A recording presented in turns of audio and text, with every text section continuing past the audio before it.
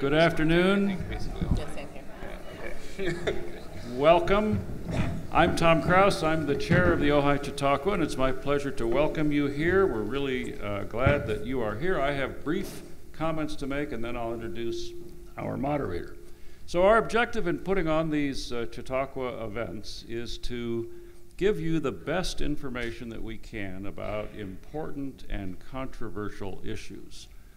Uh, our method for doing that is to get a group of people together who are knowledgeable and ask them to have a friendly, uh, collegial uh, discussion, something that uh, we might not see a lot of these days. Um, but we think that's the best way to help you understand the issue. So we're not uh, trying to convince you of any particular position.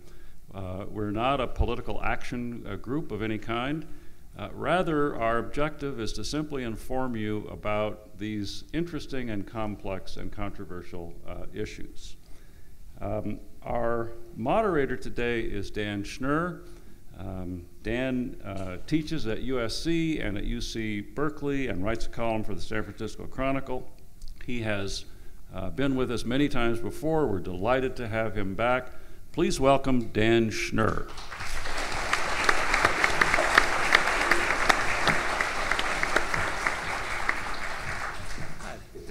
Well, thank you very much, Tom, and thanks very much to all of you for joining us uh, for our first Chautauqua of the spring season. Um, like Tom, I'm thrilled that so many of you can be here with us today. And before I want to introduce the panel, just want to offer a couple, a few thank yous. Um, first of all, uh, to Tom and his wife Catherine, and to our good friends Esther and Tom Wachtel for the tremendous work and the tremendous leadership they've shown in putting this series together for us. Thank you all very, very much. I'm also very grateful to the entire host committee that uh, Tom and Esther and Tom and Catherine have put together. Um, all of you have been tremendous supporters of this. We couldn't do this without you. We're very, very grateful to you for your support and your involvement. Um, I also want to thank um, our good friend, uh, Andy Gilman. Andy, of course, has worked tirelessly to put these programs together, and we're extremely grateful to him as well. Uh, these things wouldn't take place without him. Andy, thank you so much for all your work.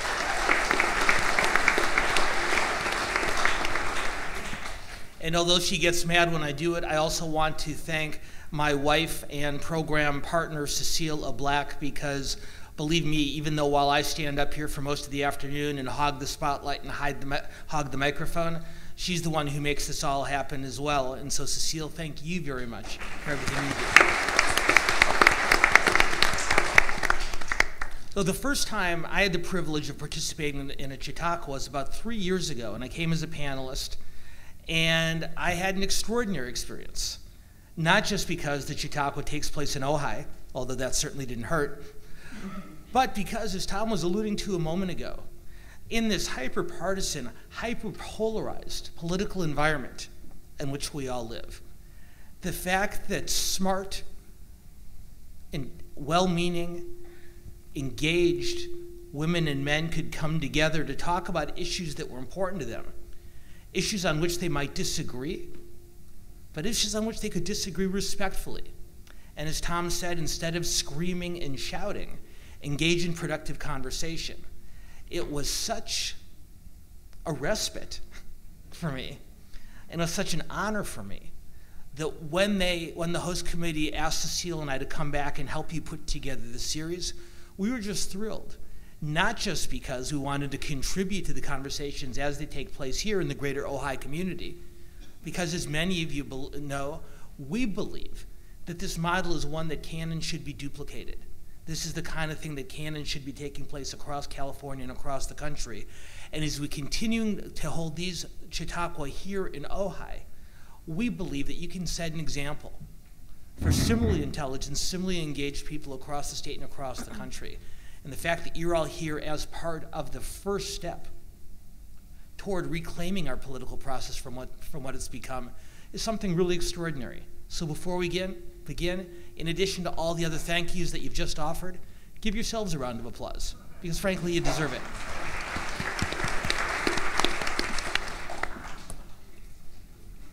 So, like last fall, uh, when we had a lot of fun and learned a lot with our two program discussions, uh, we put together, I believe, uh, and I think you'll agree with me shortly, a tremendous panel for today's discussion. And to take just a minute to introduce our panelists, and then we'll dive right into the questions. Um, I'll ask questions, um, and we'll have a conversation for about the first hour or so of the program. And in about 30, 40 minutes, if I'm not mistaken, we'll begin uh, uh, to collect the cards that you have. The cards are on their, are on their chairs, is that correct, Andy? Okay, good. Uh, you'll, you have cards on your chair, and in about 30, 40 minutes, we'll begin to collect them.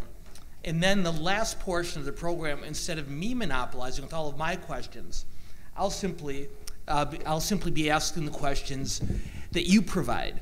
So, in addition to listening to our panelists, and no doubt learning from them and enjoying what they have to say, think about the questions you want me to put to them in the second half of today's discussion, and we'll make sure we'll do everything we can to ask as many of those questions as possible. Um, I understand that in addition to the rest of the uh, attendees today, that we also have people in the audience uh, from Oak Grove School and from Villanova School. Is that correct? Do we have uh, students from Oak Grove and Villanova? I would say this I don't know about the rest of the old people in the audience, but when I was 15 or 16 or 17, if somebody had asked me to spend a Saturday afternoon listening to a conversation like this, I would have run in the other direction. So let's give these impressive young people a round of applause that they deserve. In the past, we've had uh, students here from Nordoff School as well. What I understand is today is Nordoff's prom, so let's give them a flyer on this one, and we'll have them back in a we'll have them back in a month. Uh, but for the high school students in the audience today, I've got two requests for you. Number one, we really do want you to ask questions, so make sure you fill out a card with questions of your own. And, and what, the other thing we'd like you to do is put your name and your school on that card so that we can recognize a really impressive and really smart young person and so we can make sure that you get extra credit in your social studies class. so we're looking for questions from as many of you as possible, but from the young people in particular, put your name and your school on those cards so that we have a chance to, to call you out. All right, so let's get started, and we're gonna. I, I want to uh, introduce our panel, and then we'll get right, and then we'll get right into the questions. Um, first of all, uh, sitting to my far, far, far, far, far, far left. Hi, Johanna. Way down at the other end of the table is my friend Johanna Maska. And Johanna is really extraordinary. She worked, uh, she worked in a senior media position in the Obama White House for several years. She's now moved out here to California and is the CEO uh, for a uh, communications firm called Global Situations. Johanna, thank you so much for joining us.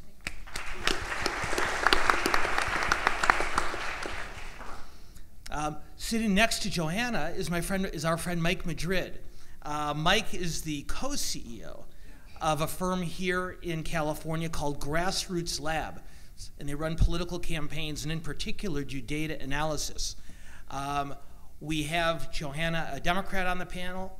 We have Mike, a Republican. And one thing in particular that we're going to want to talk to Mike a little bit about later is in addition to the work that he's done in Republican politics over the years, he spent uh, a great deal of time examining the Latino and the Latina vote here in California, so we'll come back to that later. Mike, thank you so much for being here. So both of our partisans, of course, are here today not as advocates for one side or the other, but as really smart and perceptive analysts because they are, and we're really thrilled to have them both. In addition to Johanna and to Mike, though, we've got three really, really impressive, very well-respected journalists, and I'm going to introduce them very quickly. Uh, sitting next to Mike is our friend Seema Mehta. Seema is the chief political reporter for the Los Angeles Times. She has covered far more presidential campaigns for the Times than you would ever guess from looking at her. But she is one of the most respected political journalists in the country, and we're thrilled to have her with us here today. So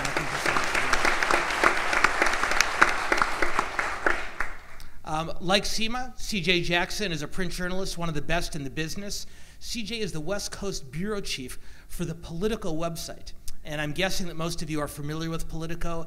If you are not, it is the single best place to go every morning and throughout the day for an accumulation of breaking political and government news. And to a large degree, that's because of the good work that CJ does. CJ, thank you so much for joining us.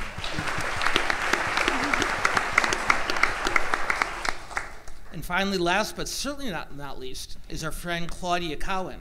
And I knew Claudia back when she was a local television reporter, and she, she, since she's gone on to much bigger and better and greater things. She currently is the chief Northern California Bay Area correspondent for the Fox News Channel. Claude, just like CJ and Seema, are two of the most respected print journalists in the country. Claudia easily is one of the most respected broadcast journalists. We're thrilled to have her with us also, Claudia. Thank you for being here. and so before, uh, before I ask the first question of our panelists, I'm going to ask a question of all of you. And I'd ask you that you hold off on answering it. You can, can consider your answer over the duration of the program. Two of our panelists here today, and those of you who were at the dinner last night are not allowed to answer this.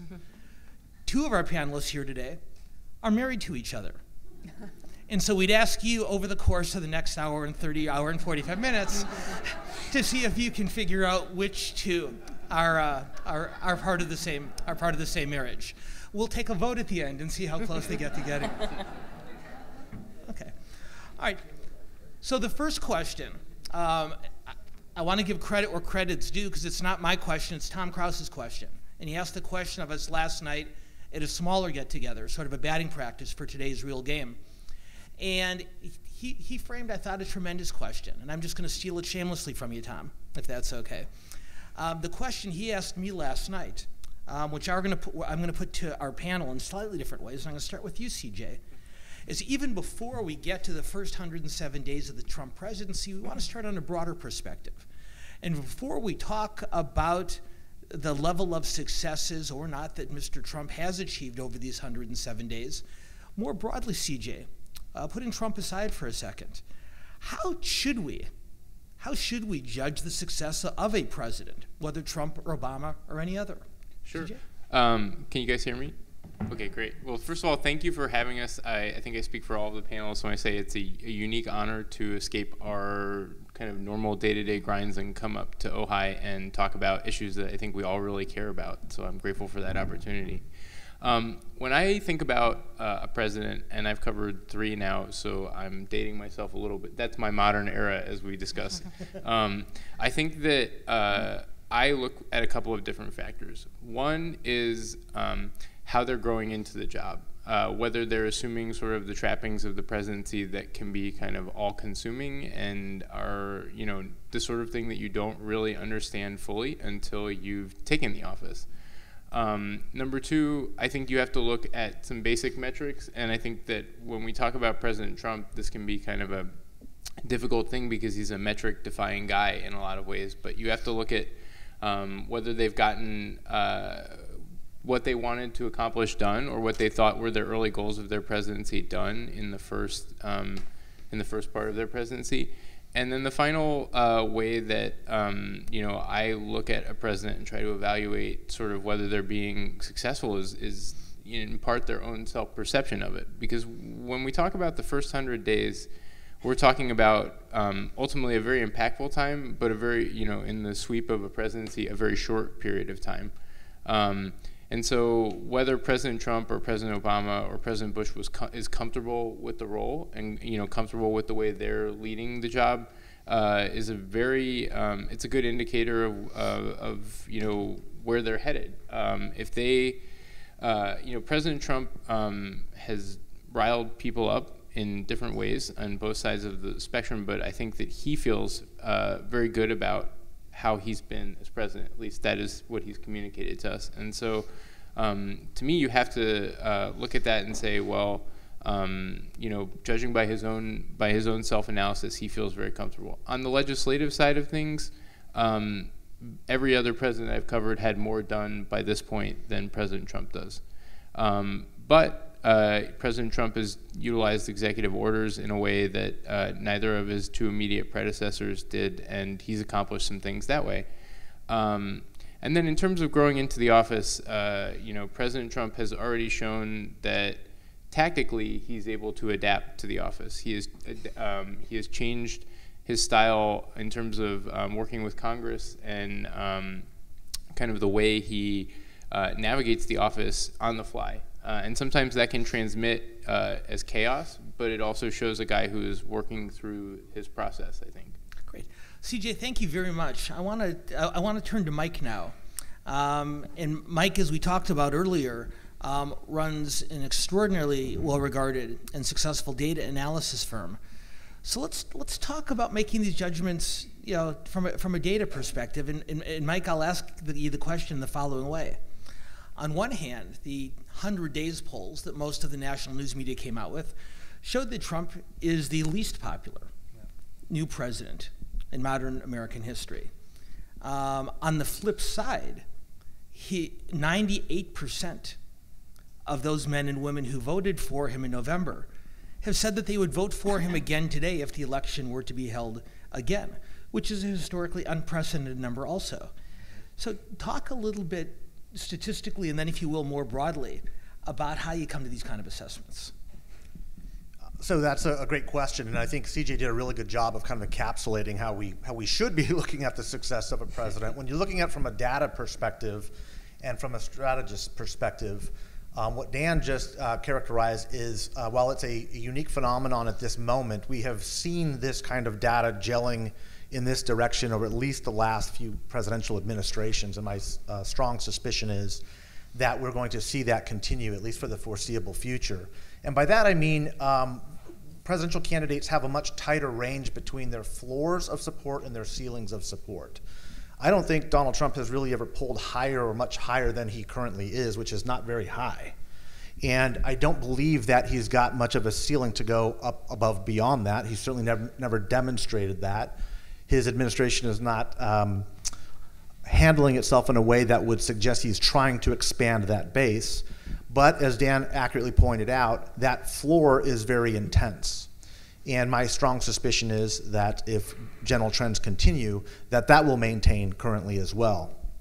Um, all of which speaks to a different way, I believe, of governing, um, which is, will be um, a marked departure from the way we have seen, at least in the historical context, presidents operate in the past. I think in the recent future, the last two presidents specifically, you've seen uh, this departure really manifest itself, where the need to play to the base is more important than it is to expand the numbers and try to reach a higher ceiling, a higher threshold. And we can get into, and I hope we do, a, a lot of why that is and how we got to this point. Um, it, it, I think it, it is. Um, I, I, hate to use the term a troubling dynamic. It certainly feels very troubling, but I think it's a function of the way um, society is just segmenting right now, and it's a reality that we're going to have to deal with. So I'm not too sure if that answered your question from the data perspective, but that's that's what we're looking at. It certainly does, and I want to come back to your other point a little bit later once we've had the other panelists, uh, given the other panelists an opportunity to weigh in. But before we move on, I really do want to underscore that point, that last point that Mike makes, because it's a particularly important one, and it is one that we want to come back to uh, a little bit later. Um, Donald Trump, from election day until now has not expanded his base of support. And you can make an argument, as Mike alluded to, that to a large degree it's because he hasn't tried to. Most presidents elect after an election, and in their first weeks, months, even years in office, make a great effort to expand their base of support between, from those people who voted for them to those who, uh, a number of those who did not. And Trump has come to the conclusion, and we will talk a little bit later about both the pros and cons of this approach that rather than trying to expand his base of support, the president has said, I'm going to instead concentrate simply on motivating my existing base of support to the greatest degree possible. And I am more likely to govern successfully, he believes, by having a smaller but more impassioned group of supporters than making an effort to broaden that base. Fascinating point, Mike, and I definitely want to come back to it. Before we do, though, I really want to come to Johanna and uh, give her a chance to offer what I think is a particularly valuable perspective. Neither Mike nor Johanna, as I mentioned here earlier, are here as partisans. They're not here as advocates for one side or the other. But one of the many reasons we're very fortunate to have Johanna here is, of course, she has the very unique perspective of having worked in a White House at a time when an outsider president was just taking office and getting used to those challenges. So, from that perspective, Johanna, how should we be making these kind of assessments? Yeah, thank you, Dan. Thank you to everyone for having us and for coming out on this uh, beautiful rainy day. Um, I think that's, you know, it is interesting because I remember not even just our first 100 days, but our first, I think it was five days. Um, we had gotten into the, the White House, and I was telling these guys earlier. Um, there was there were a couple incidents where you're just learning. It's a there's a learning curve of getting into a White House, and so uh, we all got our offices and our badges, and you get you know these keys to go into the White House, but you don't know how everything works. And I remember uh, it, there were two incidents. So um, one of our un, I, I won't name uh, press aides or press uh, officials was trying to open the door of the press briefing room so hard that it started smoking. And everyone's like oh you have to you know pull should we pull the fire alarm? And they're like do not pull the fire alarm. And in the White House, you don't want to pull the fire alarm. But then, you know, it was right after that, um, I believe it was Peter Orszag who uh, had gotten his very nice office in the EEOB, and it had a fireplace. So he um, went to go light a fire, and it, you're not supposed to do that. So the fire alarm did go off, and, and I remember standing right in front of Pebble Beach, which is uh, right in front of the White House, thinking, oh my God, all the press are just going to be talking about how we're burning the place down. and, uh, so, you know, to the degree that I have sympathy for a learning curve, uh, I, have, I have been there. Um, you know, I, I obviously did not uh, support um, President Trump's uh, bid for office. I'm a Democrat. I supported President Obama. But I actually was sitting back during the campaign and I was saying, you know, he's a master marketer and a communicator. And in the sense that anyone can attribute whatever they want to make America great again, um, he had a lot of um, he got a lot of people to support what um, he was doing. Um, and he did. He showed us, he told us exactly what to expect in the sense of um, there was a 100 day plan that I um, often get frustrated because it wasn't really covered in October, but rather the day after he was elected. But there was a day, there was a 100 day plan of what he he projected that he was going to do. Now, what I say is um, often I think he's moved some of the goalposts to meet his marketing needs, which is he said he's going to drain the swamp, which means congressional term limits. And at first, as someone who got frustrated because Congress wouldn't compromise with us on anything, I thought, hey, term limits, that could be interesting. And uh, term limits seem to have all together disappeared. And now Drain the Swamp is just, uh, you know, we're going to put um, a freeze on federal workers. And then, you know, oh, actually, because of the unintended consequences, we're not going to put a freeze on federal workers, but we will check it off the list. So I am interested in this first 100 days, um, analyzing it from a perspective. I am sympathetic, and I will never root against a United States of America, the President of the United States of America. Um, but I'm, I'm definitely interested to hear this analysis as we go uh, throughout this um, interesting presidency. Well, Johanna, thank you very much. And I think particularly the point of expectations is an important one. And I want to get back to that in just a moment, too. But before we do, I'd like to do for a moment is sort of reverse the telescope. And instead of looking at the White House, look instead at the voters. And Claudia Cowan, you eh, occupy what I think might be the most fascinating job in journalism, covering the very deep blue Bay Area for the Fox News Channel. And so you spend a great deal of time covering not the president, but rather covering the voters who are responding to the president. Right. And so talk I, a little bit about how they're assessing the first 107 days of his presidency? Well, um, I uh, don't really cover the pulse of the American voter. Um, I cover the pulse of the American opposition uh, to the president, and it's been interesting. Um, there's always a story. If it's a day that ends in Y, there's going to be a protest. Mm-hmm. Uh, I've never seen so many protests as we have had almost every day in the Bay Area, whether it's the March for Science or the Women's March or the Tax Day March but obviously mostly marches uh, for or against free speech. Uh, depending on what side you're coming at it. Uh, the, the response in the Bay Area has been this overwhelming sense of depression. Uh, you, you, you kind of almost have to go off Facebook because people are crying every day on Facebook about the election results. Um, I don't think anybody in the Bay Area saw it coming. They just couldn't conceive that Donald Trump would win this election, but he did. And now they're in uh, the second or third stage of grief. Uh, they're still in anger or denial, and I don't know that we're going to be getting to acceptance anytime soon up there. But it is bringing out uh, voices um, and protesters. Uh, and it's been interesting to cover. Uh, for me, it's provided a lot of opportunities to uh, be in the middle of a protest, whether it's at Berkeley or in San Francisco. And, and you see just how there, there's this effort among some to stifle and muffle the speech of others. And in sometimes with university administration officials kind of looking the other way, but I think that's getting better. Uh, so it's been an interesting uh, 100 days for me as a reporter to cover the response in the very blue Bay Area, who is very much uh, opposed to Trump. So I listen. I, I listened to Claudia talking about the Bay Area's response to Trump, and I think somewhere there's a reporter in Dallas who's just as good, okay, maybe not quite as good, as Claudia, who's thinking, I think I had to do this eight years ago. so if, uh, if 50 is the new 30 and orange is the new black, maybe California is the new Texas. And so when we, uh, when we switch partisan sides, we switch the reactions also.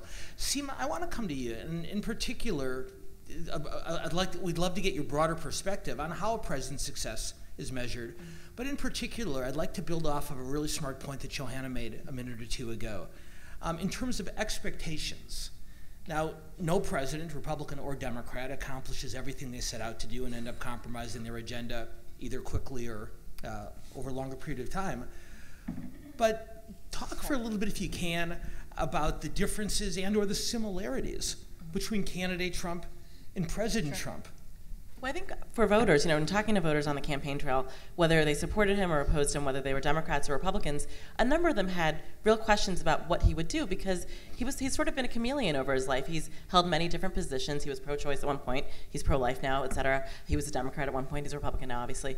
Um, so I think there was, and he doesn't have a, a record in elected office as every other president, you know, practically you know, for the past what half century or more has. So there was no record to study, you know, to say he's voted this way in the past, he supported this tax plan in the past. So you know, so there was no way to say, well, we know sort of where he'll go going forward. So you know, he was making tons of like bold, you know, pronouncements on the campaign trail. But there was a question of, you know, is he going to follow through with this once he gets to the White House? Or is he more of a Rockefeller Republican? Is he more of a New York Republican? Is he more squishy? Um, so I think there was some real doubts about whether he would. I, mean, I, think as we've seen over the first 100 days, you know, whether you love him, whether you hate him, he has certainly pursued every single thing he's talked about, whether it's building the wall, you know, trying to do the travel ban. He hasn't been successful at it, um, except you know, with a couple exceptions. But he has certainly pursued, you know, especially like the, the big controversial, you know, promises that he made on the campaign trail. And in talking to his voters, I think one of the reasons that that number that we talked about earlier, that 98% would still vote for him, uh, that number is so high, is because they really believe that he's trying to do these things and he's been stymied by Democrats or he's been stymied by the courts. I think um, if this continues for the next four years, I think that it's a different question for voters than if he really has not been able to fulfill some of these promises. But the, and the other thing I think is, is interesting is for um, Republicans who were skeptical of him but who voted for him because they, they didn't want to vote for Hillary, or who voted for him because they felt the duty to party they should vote for him, or they voted for him you know because of Mike Pence. In talking to them, or they didn't, or Republicans who didn't vote for him, who just couldn't vote for him.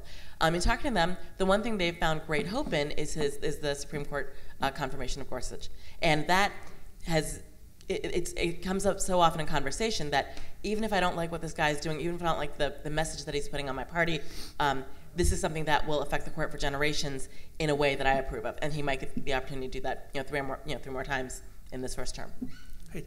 Seema, I'm going to I'm, I'm going to stick with you and change the direction of the conversation a little bit because I think one of the really benefits I think we learned last fall that we got from our panelists for those who worked in the media is hearing not just about what they not only hearing just about what they've covered, but how they've covered it.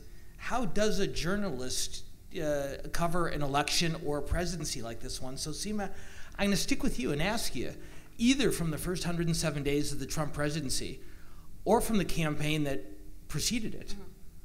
What was your favorite story? What was your best story? What was your most interesting story?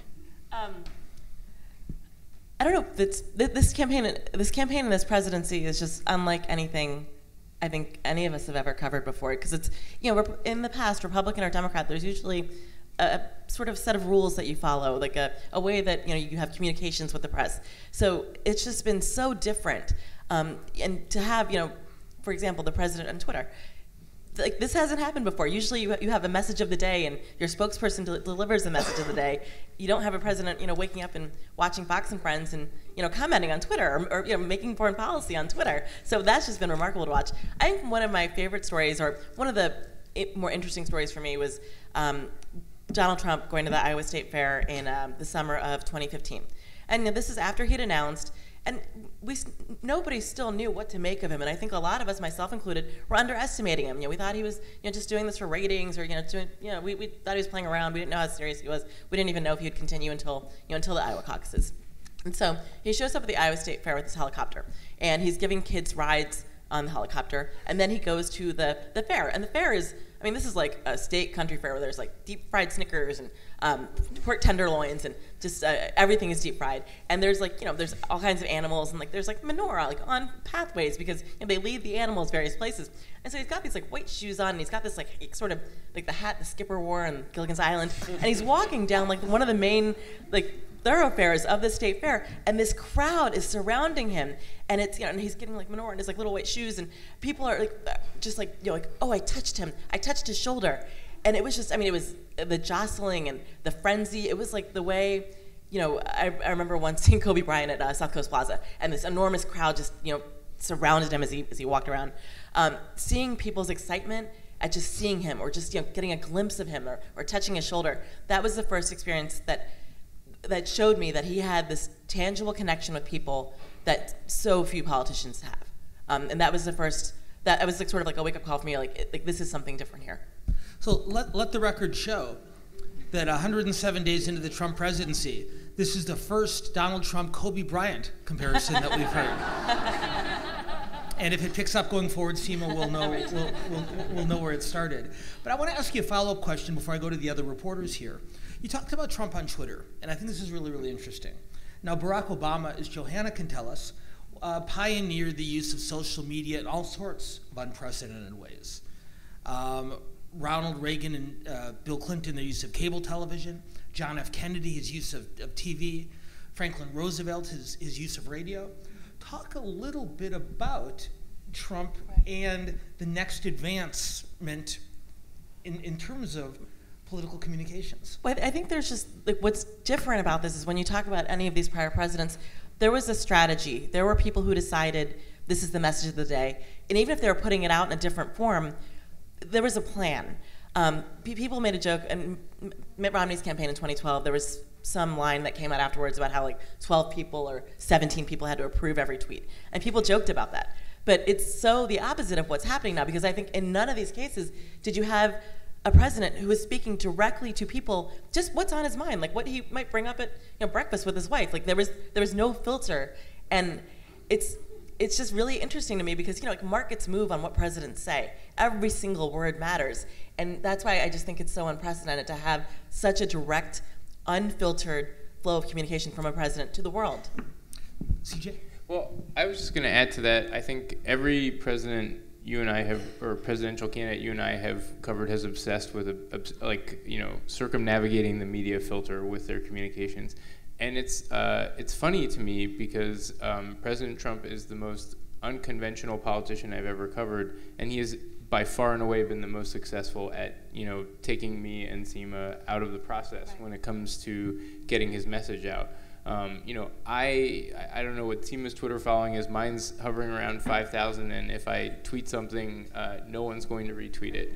Um, well, they might, but they, you know. Um, whereas, you know, P- President Trump can add an exclamation point, and that thing is going to fire itself all around the world and back before I even read it. Um, and I find that to be um, in terms of his communications, it's it's really revealing about what he wants, which is basically no one between him and the people. Um, and the fact that Twitter is, is his preferred medium for delivering some of these messages um, means I think that he has a pretty sophisticated understanding about communication in, in our kind of current moment in America. And it's very different than the way um, also his desire to communicate is very different than other president and presidential candidates I've covered. I don't think that um, President Obama uh, really always wanted to communicate as frequently and, and you know kind of like moment to moment with the American people the way President Trump does. He has a, that's very kind of a, a, part of his personality, his desire to um, tell you what's going on. You know. Well, and I think you're really f- framing an important concept here, um, because if you look back at Donald Trump's biography, not in business or on reality TV, but as a media presence in a very hyper competitive New York City media market. Page six and New York One and the tabloids and that sort of thing. The lesson he seems to have learned is it doesn't matter if it's positive attention or negative attention. It's easier to translate unfavorable coverage into favorable, or it's more beneficial to translate unfavorable coverage into favorable than to simply not be noticed at all. Um, since we're with you, CJ, I'll stick with you for another minute. What's your story? First 107 days or from the campaign? What's, your, what's, what's the favorite story you've covered? Well, so I, I don't know that I can boil it down to one specific example, but a thing that I have found that I think is fascinating to me with this campaign uh, is um, the extent to which people who I would not associate with deep feelings about politics um, or a deep interest in electoral politics – the extent to which Donald Trump has, um, you know, kind of uh, taken his car, parked it in the proverbial garage of their heads, and, and occupied space. I have aunts and uncles who um, are, you know, political atheists or just not interested, um, roommates from college, and they will text me at all hours of the night and just, you know, with did you see what the president said on Twitter, or did you, you know, did you follow this development with like him talking about North Korea? And I can tell you that some of these people that are asking me about the president in North Korea are not people that would have been able to identify Pyongyang on a map like six months ago.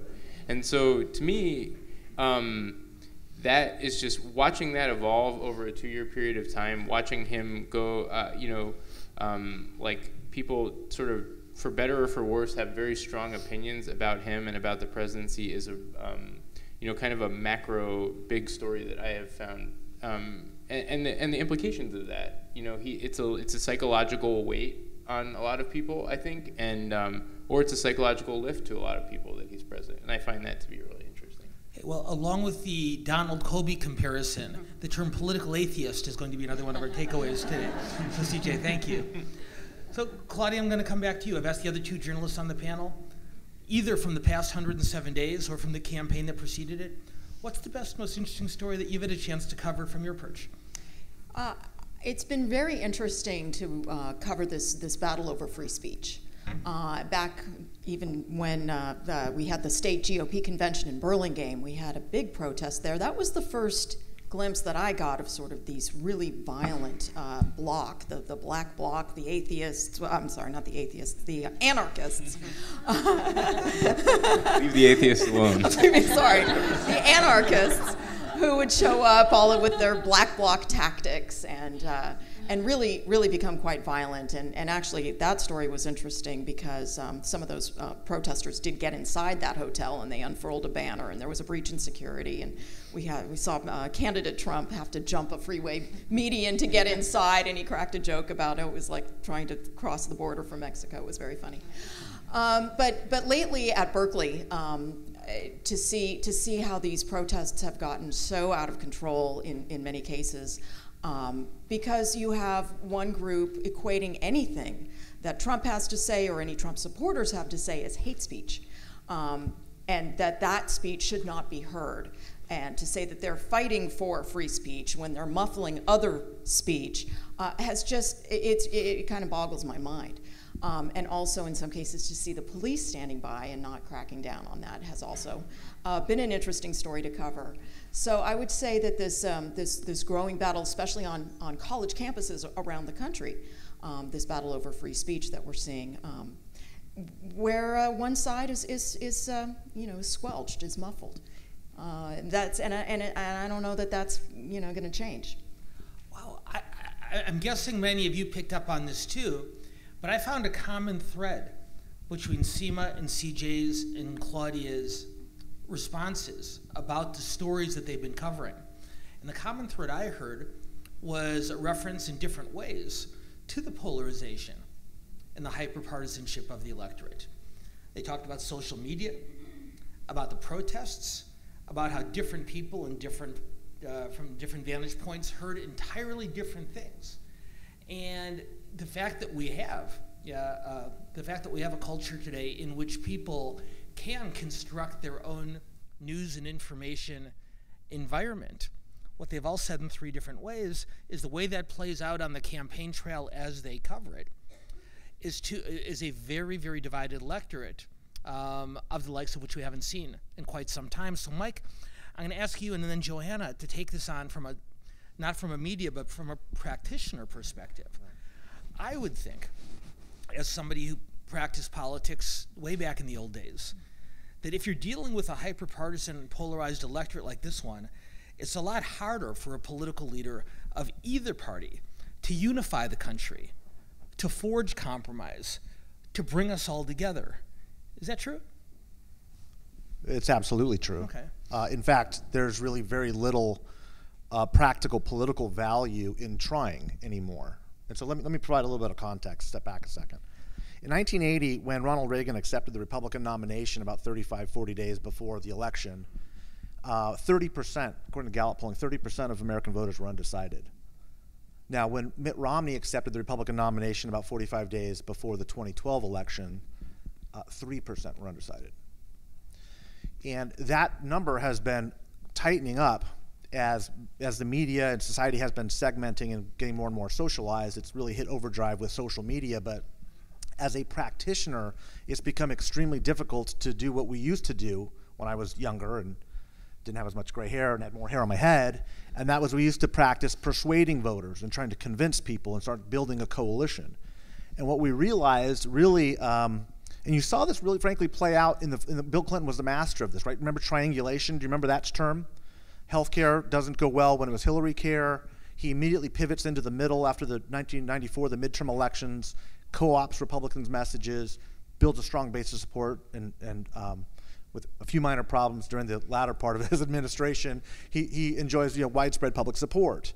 You see that change markedly in the George Bush administration, George W. Bush administration, so much so that Karl Rove really recognized this trend and said, there aren't enough votes to get anymore to win a become a national party. The way you have to do it is you have to drive base. And this happened, um, the first time this really happened was in the 2002 midterms. And what you saw then was Karl Rove put on a bunch of socially conservative issues and key electoral battlegrounds, primarily on gay marriage, to drive social conservatives out to the base. And you saw that happen again in the Obama administration uh, when the uh, healthcare issue was faltering. Remember when Ted Kennedy passed away? uh, right before the last key vote, and Massachusetts voters send Scott Brown, a Republican, in the middle of all this, to the you know to the U.S. Senate in Ted Kennedy's seat. By the way, I mean there's nothing screaming more you know hit the pause button, slow down here than than that. But he, he there's no room to compromise with Republicans because Republicans are having none of it. So what you have to do is he has to double down and drive his own base which Barack Obama was uniquely positioned to do with the, the emerging constituencies of America. Long way of saying, driving base has become the primary practice of politicians and political consultants. And it's going to continue as long as the media segments because persuading people is a very, very, very difficult, expensive, and tricky enterprise. And if you don't believe me, let me just ask you, don't have to blurt this out, but how many of you were undecided between Hillary Clinton and Donald Trump 30 days before the election? Right? Very, very few, if any of you. I, I would go with none. Yeah. He's much more the diplomat than I am, but that's exactly right. And so what, what, what is unfortunately happening is, in, is as a practitioner, and as the media further segments, and it's why you see the rise of not just Fox News on the right, but Breitbart sites on the, on, on the right, and you know, Vox on the left, and other groups that are just popping up, speaking to narrow constituencies and monetizing that constituency. The way you monetize it is by getting people riled up. The unfortunate evolution of that is fake news. And who would have thought that Russians would be better practitioners of persuading people in elections than you know American political consultants who we think we've been doing it so well for the past couple hundred years. So that all of this is unfortunately this predictable um, evolution or devolution of what is happening, and it is making it extremely difficult to not only build consensus, but frankly, uh, it, it, makes it uh, politically disadvantageous. Is that a word? To actually even try. I it, so go ahead. Oh no, no. I, I, well, I was gonna say it, it, it, the, the, efficiencies, as we would call it, the efficiencies on your spend is better spent on uh, further intensifying your base as opposed to reaching across to other people who even may agree with you on a core set of issues. And I think we would probably agree that Americans agree on probably a lot more than we disagree on. But we're so now preconditioned to be angry that who is saying what is more important than what is being said. And I don't trust the other side because that they they watch MSNBC or they watch Fox or they're reading this or they're really you know and we we, we have become the enemy and that's the unfortunate part is because it is becoming again not only very difficult but it's becoming um, a disadvantage to try to build consensus well, Mike, several several really interesting points, and in just a moment, I'm going to ask Johanna and then the others to weigh in on them. But for those of you who attended our programs last fall, at least one of the th- a couple of the things that Mike mentioned might ring a little bit familiar because we talked about it then. Some of what Mike talks about, I would argue, is simply human nature. It's only human nature to want to talk to, to listen to, the read, to read the smartest people in the world. Who are the smartest people in the world? Well, they're the people who agree with me. and we might find them on different talk radio shows or on different blogs or on different websites or on different Facebook pages. But there's sort of this national gravitational pull, if I understand what you're saying, Mike, that pulls us there and leaves a lot of responsibility to us to resist that nat- natural pull as citizens to be willing to seek out the other side. And to me, once again, that's really the great value and great virtue of the Chautauqua series. I'll offer a statistic to back up uh, the point that Mike was making about the trends in polarization. He talked about the differences between the Reagan and the Romney eras.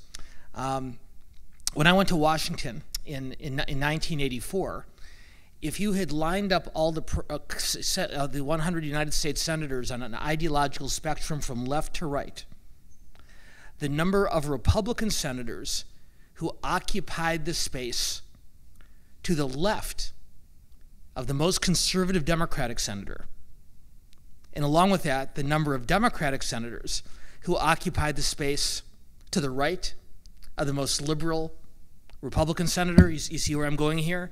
senators who, who crossed over, 62 of the 100 United States senators occupied the space that I just described. The corresponding number in the year 2017, of course, is zero. So now, what, what Mike has done is he's laid out a pretty stark argument, not just that we are a polarized country, but that makes it either more difficult and maybe not even worth trying for political leaders to try to forge that common ground Johanna, what do you think about that? Well, um, I, I guess I have a little bit of a unique perspective here. I often joke that I came out to my family as a Democrat.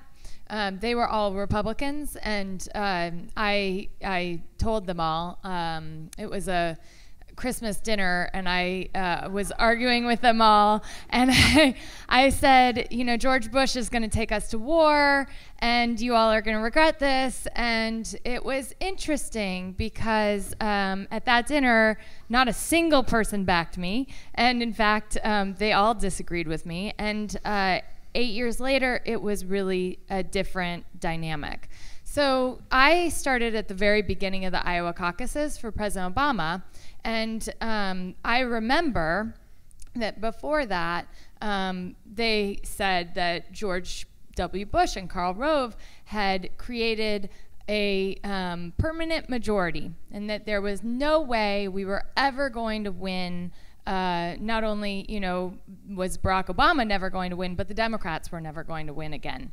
Um, we started in Iowa, and it was very much a grassroots effort um, pulling people from these, um, you know, various community centers, retirement centers, schools. Um, we had Barack Stars, our high school students, um, who would come and we would do town halls, and um, and we would talk about, you know, what Americans are most concerned about. Um, and they were overwhelmingly healthcare. Um, they were overwhelmingly their economic situation.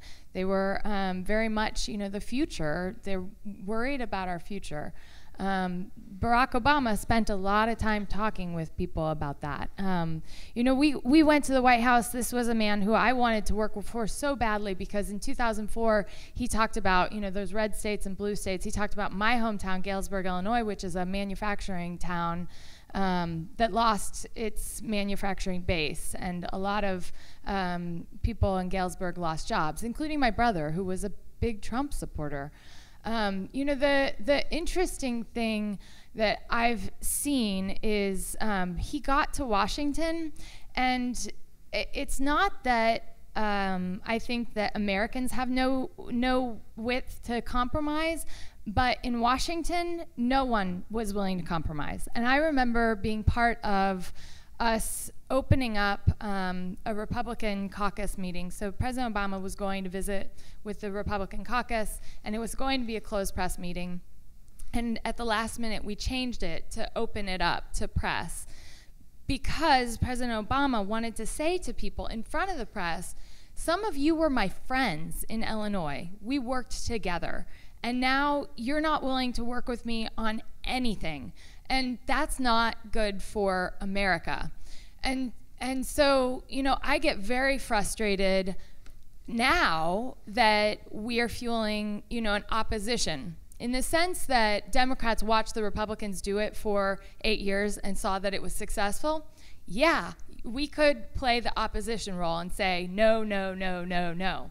But in the sense that the Americans are on the train tracks when that train's going to crash, that's not okay. And I don't think it's okay for our politicians to take that easy political and kind of manipulative stance on either side.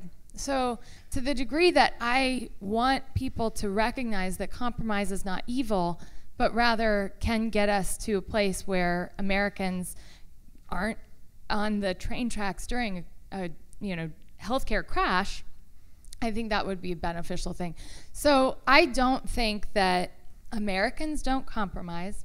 I don't think that we're in a position where you know there one I, I know there's a, a, lot of divide on media but i also do know that there are people who are undecided who are willing to listen i i believe that we're doing a disservice both as politicians just telling them what we want to hear and not going into the depth of issues and both um, as journalists i think we actually need more of our journalistic entities to set the agenda and not just follow the politicians um, with everything that they're saying.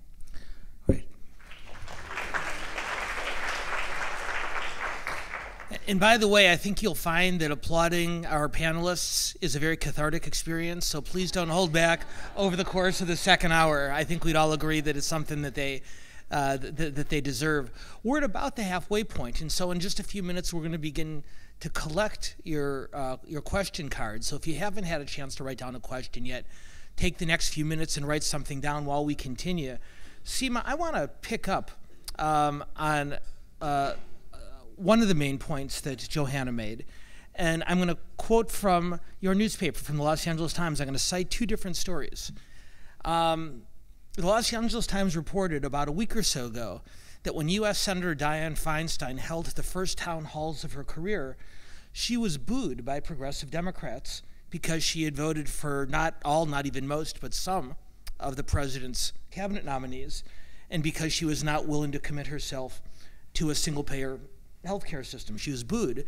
Um, I also read in the Times today, just before I came over here, that Kevin McCarthy, the House Majority Leader, is now going to be facing an opponent in next year's election, not a uh, a Democrat running from a from the left, but a more conservative Republican running against him from the right, who believes that he McCarthy has sold out the conservative cause.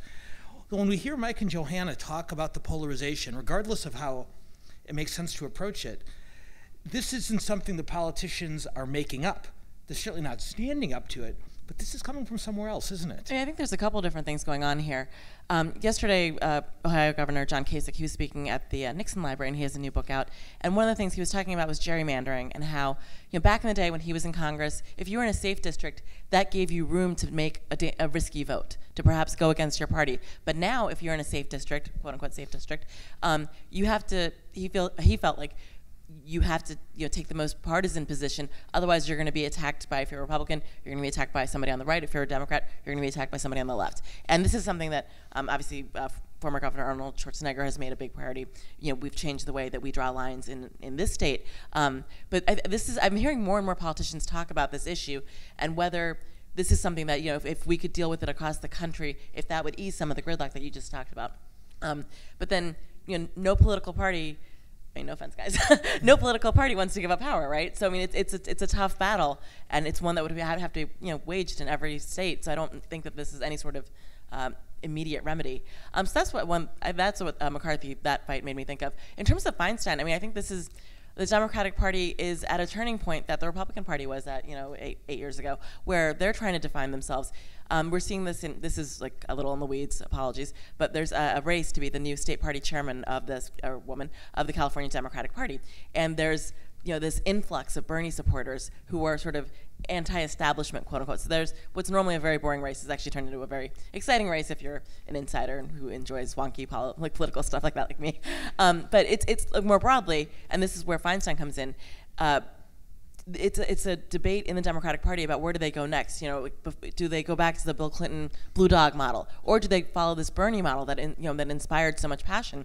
And I think she's really bearing you know some of the brunt of this right now because you know she's I, I for some reason she's she and Barbara Boxer basically voted exactly the same, but she's always been viewed as the more conservative Democrat. That you know, and perhaps it's because of her views on national security and intelligence. But largely, she's you know she's pretty much been Democratic mainstream. But she's really been painted now as this establishment, maybe kind of neocon, you know, Democrat. So she's facing a lot of anger from this left, from this energized left, and this is the energized left that we're also seeing like at the protests that you mentioned. You know, whether it was the Women's March or the science march or the income tax march or the marches that we seem to have you know, every weekend. So, so I think there's two different things going on there. Um, and in California, I think the question about wh- where the Democratic Party goes is really interesting because a we have a really interesting governor's race that's coming up, and b California has sort of become the liberal resistance to Trump in terms of so much policy, whether it's immigration, climate change, healthcare. So many of the issues that he is talking about are issues that you know that this state has been on the leading edge of. So where the Democratic Party goes not only nationally but in California, I think it's just going to be it's going to be so so important in this presidency. Claudia. Well, I just want to say um, at a local level, at least in the Bay Area, that I specifically cover. Um, we see our, our local jurisdictions, our local city councils, our supervisors trying to one up each other in trying to you know seize every opportunity to pass a resolution for instance that we're going to not do business with companies that help build the wall or you know we, we, we just they're falling over each other trying to you know be out in front and yes we hear you and yes we agree with you because they don't want to get reelected or you know they want to feel like we're listening to you. And and and so we there's very little opposition from any of the city leaders in the bay area to any of this. That's i was just going to add that. Thank you claudia. Cj did you want to weigh in on this. Oh, okay. I'm gonna before we go on to the next question, I wanna I wanna go back to a point that Seema made because it's a critically important one, where she talked about the way our congressional uh, districts are drawn in this country, and California is one of the rare exceptions. Where, as all of you know, our elected officials do not draw their own district lines. Uh, one of the things I'm most proud of in my own career is many years ago I co-chaired a group called the Voices of Reform that laid out the original principles for redistricting reform that ultimately led to the initiative that Governor Schwarzenegger uh, passed into law. Um, in most states, as all of you know, um, politicians draw their own district lines, which I think is sort of like letting teenagers set their own curfews. Um, you can start the day, the day with the most noble of intentions, but the hour gets late and self-interest takes over, and bad things, and bad things happen. And what that means, as Seema correctly pointed out, is if you are a member of Congress from 47 of the other 49 states, you know your district has been drawn to protect you. It's a conservative Republican or a liberal Democratic district, and you know you will never ever lose a reelection campaign to a member of the other party. Which means, of course, as she indicated, the only way you'll ever lose that job is not to someone from the other side, but to an even more conservative Republican or an even more liberal Democrat, an even more ideologically intense member of your own party. And so, from a pure cost benefit standpoint, the overwhelming majority of members of Congress think I can do anything I want to, and I can get reelected, and I can keep the sweet gig. I can do anything, with the exception, possibly, of compromising with the other side. Because then I will get a more conservative opponent or a more liberal opponent, depending on my party, who runs against me as a who runs against me as a sellout. And there has been some talk about a national redistricting effort the odds are against it for precisely the reasons that Seema mentioned. If you are one of the 400 plus members of Congress who benefits by the current system, there's not much incentive to change it. But for those of you who watched the health care vote this week, and I, I know that's all of you, you notice that seven California Republicans, all representing districts that were won by Hillary Clinton this last election, they all voted for the health care bill. Now, you might think that's a good thing, you might think that's a bad thing. But because their districts were drawn not themselves, but by a citizens commission, that means that they will be asked to defend their vote next year. And if they are defeated, it will be because the voters in the district decided that was the wrong vote. If they are reelected, it's because the voters will have made a decision that it was the correct one. But either way, it's an entirely unique perspective in this country where the voters will actually get to decide whether it was right or wrong rather than having the decision made for them. All right, we now return you to your regularly scheduled program. Sorry about that. So, what I'd like to do before we, before before we get to your questions is I'm going to ask the group, um, each of you individually, what are we missing? What is a story? What is something that's happening, either in the political process or beyond politics, that we in day 107 of the Trump presidency, what should we be paying more attention to? CJ, what are we missing? Uh, sure. Well, I think that um, you know we've talked a lot about President Trump and, and kind of the way he uh, carries himself in office. I find this to be a useful uh, exercise every day. I write down literally everything he did that day. So if that, if so today he woke up in Bedminster, New Jersey, played a round of golf. I'd write that down, um, and then I look at literally the actions he's taking as president. And the reason that I do this um, it's not because I want to know how many times he, he's golfed or how many times he's traveled, which are interesting factual nuggets, but to really kind of, um, I find myself missing really basic things that he, actions he's taking as president because there is so much going on. Um, and so I would encourage you, you know, it's um, as, you know, kind of as, as voters or concerned citizens, to literally just look at what he's doing. Um, because on a day like Thursday, where where um, coverage was rightly guided by this giant, um, you know, uh, victory for Trump and House Republicans in in the first step of repealing uh, the Affordable Care Act. President Trump also signed a, an executive order on religious liberty that will have an immediate and more practical effect on the citizens of the United States.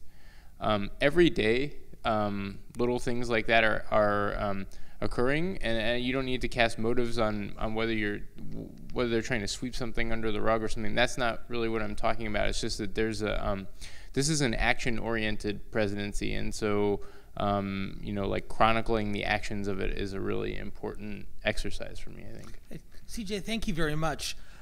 Claudia, I know you've been thinking a lot about this, and I think the audience is going to be very interested in hearing the story that you've picked up on because it doesn't sound political at the outset, but ultimately no. it is, isn't it? Well, I think it's going to be, and I think it's really going to be a big game changer in the years to come. And and um, I cover a lot of technology, uh, Silicon Valley entrepreneurs, and when you have people like Elon Musk and others talking about uh, the future of automation and uh, how that is just going to revolutionize how we work and whether we will need to go to college uh, and universal basic income uh, paying somebody just to be alive so that everybody has some sort of an income.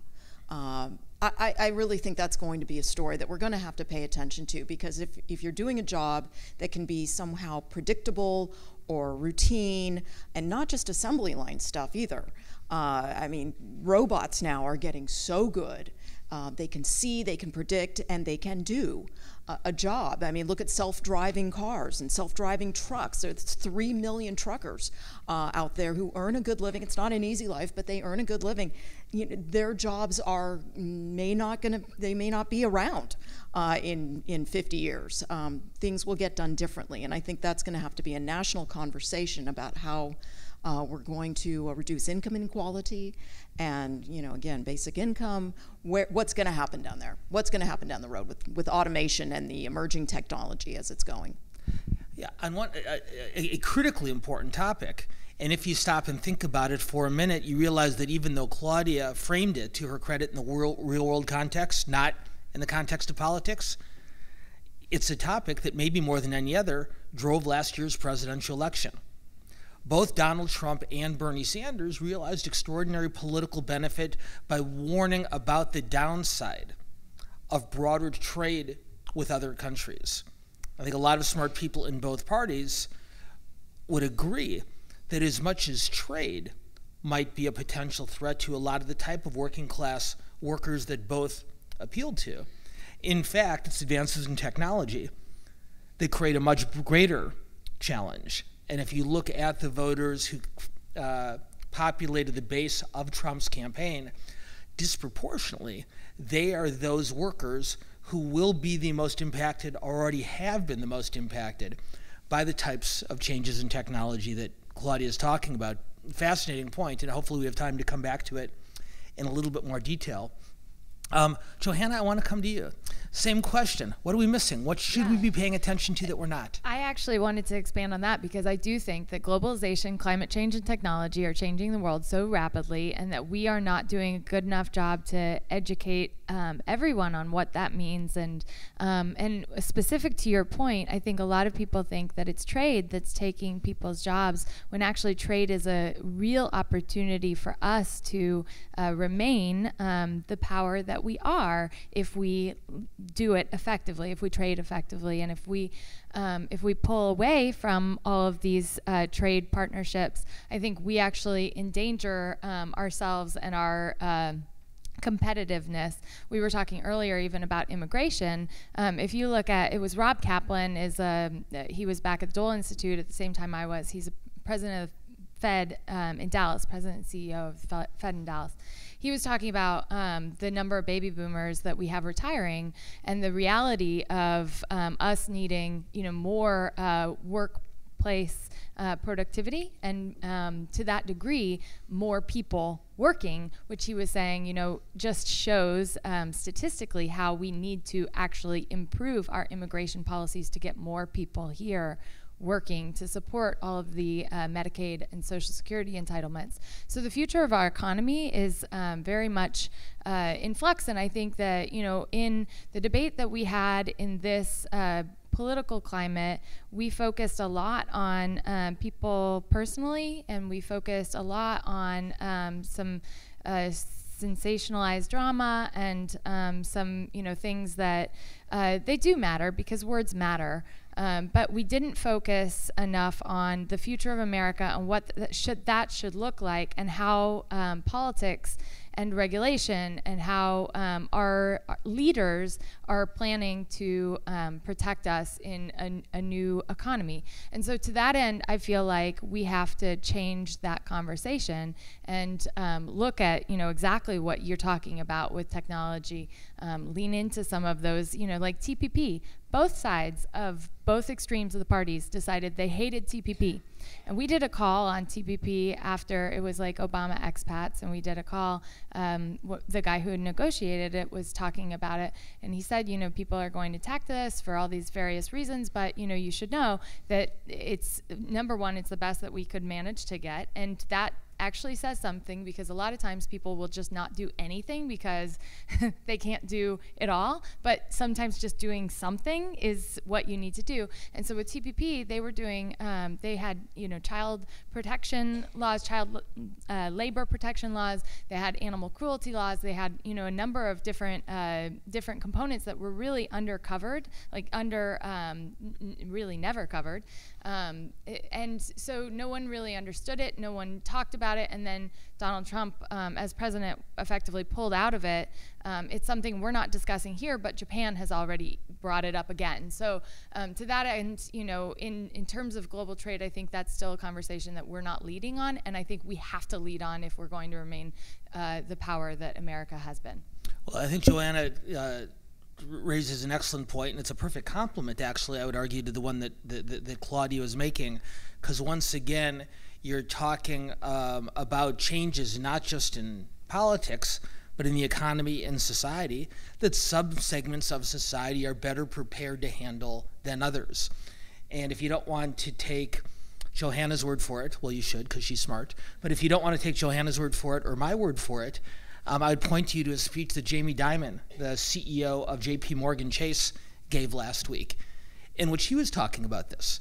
And not only was he talking about the benefits of free trade, which is what you'd expect from a Wall Street leader, he was saying we have to do a better job, as Johanna was, of explaining to people what the benefits to this to, to, the, to these trade opportunities are and he said we have to be more conscious that not everyone gains as a result of them and we have to do more in order to make sure those people have the type of support that they need. I think a point that once again although maybe not made in quite those words was a critically important component of both the Trump and the Sanders campaigns. Saying to those voters least prepared for these types of changes I might not have the answers, but at least I'm listening. Mike, what are we missing? What should we be paying attention to? Uh, well, I, I, think this is a great conversation. I think it's exactly where um, I, I, I, agree with everything with, with what everybody just said. I, would, I do want to take it a step further um, because I think there are some fundamental changes that have already happened that we just aren't equipped to understand um, because we are used to practicing politics and our governance under the current construct. Um, so let me just throw some things out with the qualifier that I, I, don't have a dystopian belief of the future, and I don't believe that the world's coming to an end or that it's calamitous. But I believe in the very near future we're going to challenge some very fundamental notions as a society that um, are, are, commonplace to us. Uh, things, the notion of representative government, I think, is going to dramatically change with the advent of technology. I think this notion of the political spectrum being about right and left really already doesn't make a whole lot of sense. And um, while I agree with Johanna, I, I, don't believe that it's the extremes of both parties that were coming to agreement. I don't think that Donald Trump really occupies the far right of the political spectrum as we knew it on the conservative side, or that Bernie Sanders was on the far left of the progressive or liberal side. We're starting to see a politics where we're no longer discussing about the role of government being big or small. It's really more kind of haves and have nots you know, whereas David Brooks would characterize as insiders versus outsiders, closed society versus a transparent society. And it's not an American phenomenon, right? It's the Brexit stuff. It's what's happening with Marine Le Pen's campaign. It's happening all over, and I would argue not just the Western world. But if you look close, you're starting to see with some of the uprisings in the Middle East, a lot of this is class driven. And this separation, this dramatic separation that technology has enabled, about haves and have nots and who allocates what, and the view that we can have free trade and we can have uh, globalization lifting everybody up. I happen to subscribe to that. That's kind of the used to be a bedrock foundation to the conservative uh, side of the aisle. And now it's kind of the shrinking part of it because it's really no longer, I think, the ascendant part of the of the Republican ideology. But what is happening is we're starting to see a transnational political movements where people in rural England and rural France have more in common with rural America than they do with people in the metropolitan areas of their own countries and are behaving that way. And so to, to, to, to, to, think that we can act as a sole actor with our system of governance, I think, is an outdated notion already, and it's why we're seeing the gridlock that we're seeing and the inability to come to consensus. And so, while I enjoy talking about things like the first hundred days or redistricting reform, really don't think that that's what's going on.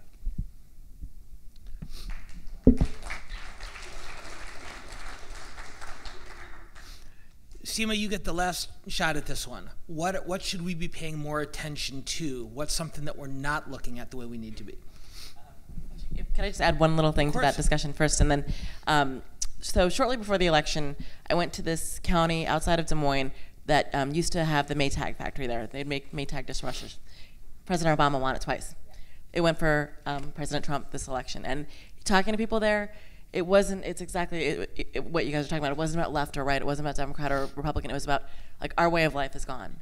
You used to be able to have like a high school degree, and you used to be able to buy a house and take your kids on vacation because you worked at this plant. One out of every four townspeople worked at this plant. That and that doesn't exist anymore. And with automation, we're going to see so much more of that. So I think I think that's exactly right. That is such a critical story in the future. Um, beyond that, in terms of what we're missing, I feel. And this is more basic, and I think this goes all you know, to what you were talking about earlier. There is so much information happening and so much stuff happening every day out of this administration that it's like a fire hose, and I just don't know how to keep up. I, I think we're all struggling with how to keep up and what to prioritize, what not to prioritize. You know, I was on a panel a couple weeks ago, and people were like, "Why do you have to report what Donald Trump tweets?" Well, he's the leader of the free world. We have to report what he tweets, but sometimes that takes up all the air in the room while he's also doing some policy. Um, you know, the, I think back to the travel ban, the first version of the travel ban. That was obviously huge news. You had thousands of people in Los Angeles voluntarily going to LAX on a Friday night, which you know, given like the hell that is LAX, that shows how much passion you know people had about this issue. But at the same time, he was remaking the uh, the makeup of the National Security Council. That got completely buried. So I think, and I'm not just saying this for the LA Times. I think that the media in general, we're still trying to figure out how to cover this administration because it is just so unlike any administration I think any of us have previously seen. Well, if left to my own devices, I would happily take the rest of our time together and ask more and more questions of our panelists. Um, but Andy and Cecile would get really mad at me, and I do have a stack of very, very interesting questions from many of you. I'm going to apologize in advance for not being able to ask all of them, or even as many as that I would like to. But what I would tell you is that for those of you who would like, our panelists, after the formal conclusion of our program at 6:30, have agreed to stay around for a short period of time and answer questions more informally.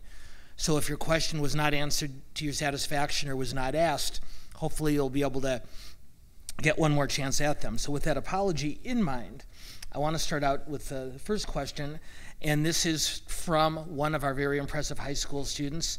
This is Dolly of Oak Grove, Oak Grove School.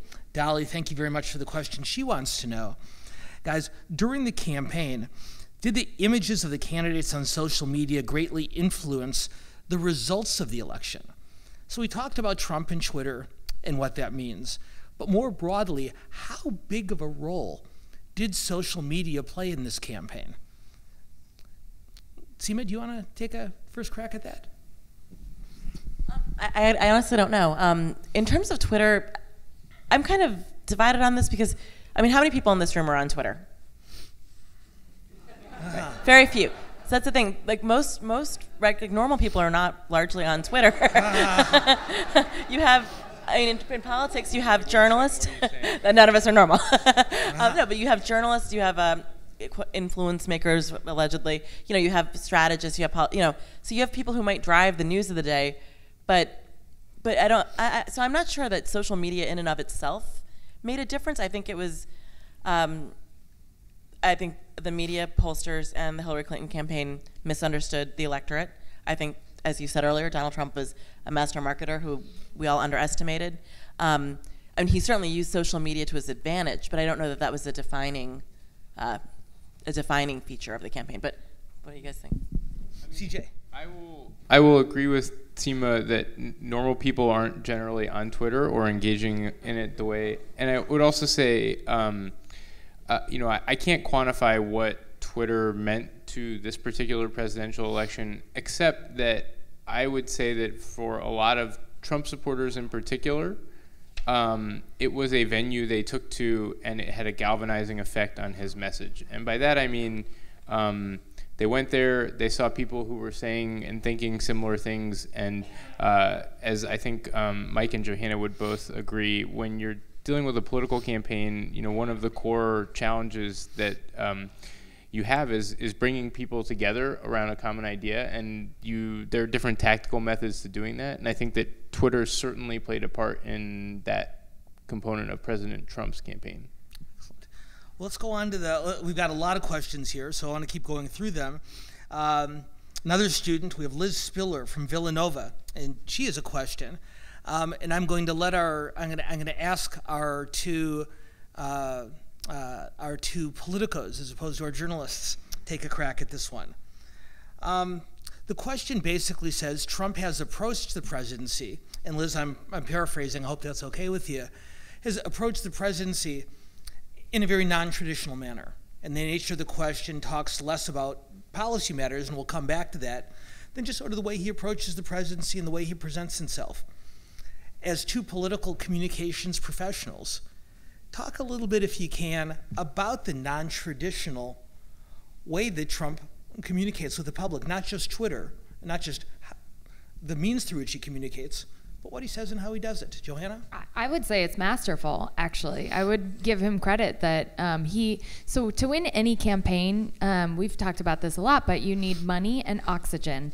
And he has so much oxygen that we, um, I mean, he's, he's winning. I think back to what CJ was talking about with the, the truck parked in this garage. Um, it, it, you know, it is good to see our citizens, citizenry involved. It, it would have been great if during President Obama's term we could have had some of those folks engaged and involved in calling Republicans and helping us get people to compromise at that point in time. It's interesting we uh, when you're looking at you know how he communicates and goes direct to the people. You're right that most normal people are not on Twitter, but they are seeing all the stories that are coming from his Twitter feed in either their Facebook feed or their Snapchat or wherever they do live online, where whatever they're consuming, they're hearing that. Yeah, on your websites, um, they're they're getting his messages. So he both, you know, knowing the medium of cable TV and of TV presence, and knowing how to go direct to people, um, he is he's is doing a phenomenal job. And I will say that you know we had to learn on the job with our social media um, strategy but we were at the time that you know we were just getting iPhones for the first time. we were we were pretty um, ahead of the curve, I would argue, um, with President Obama. Now he did not directly tweet. He was the first um, president, I believe, to have a BlackBerry.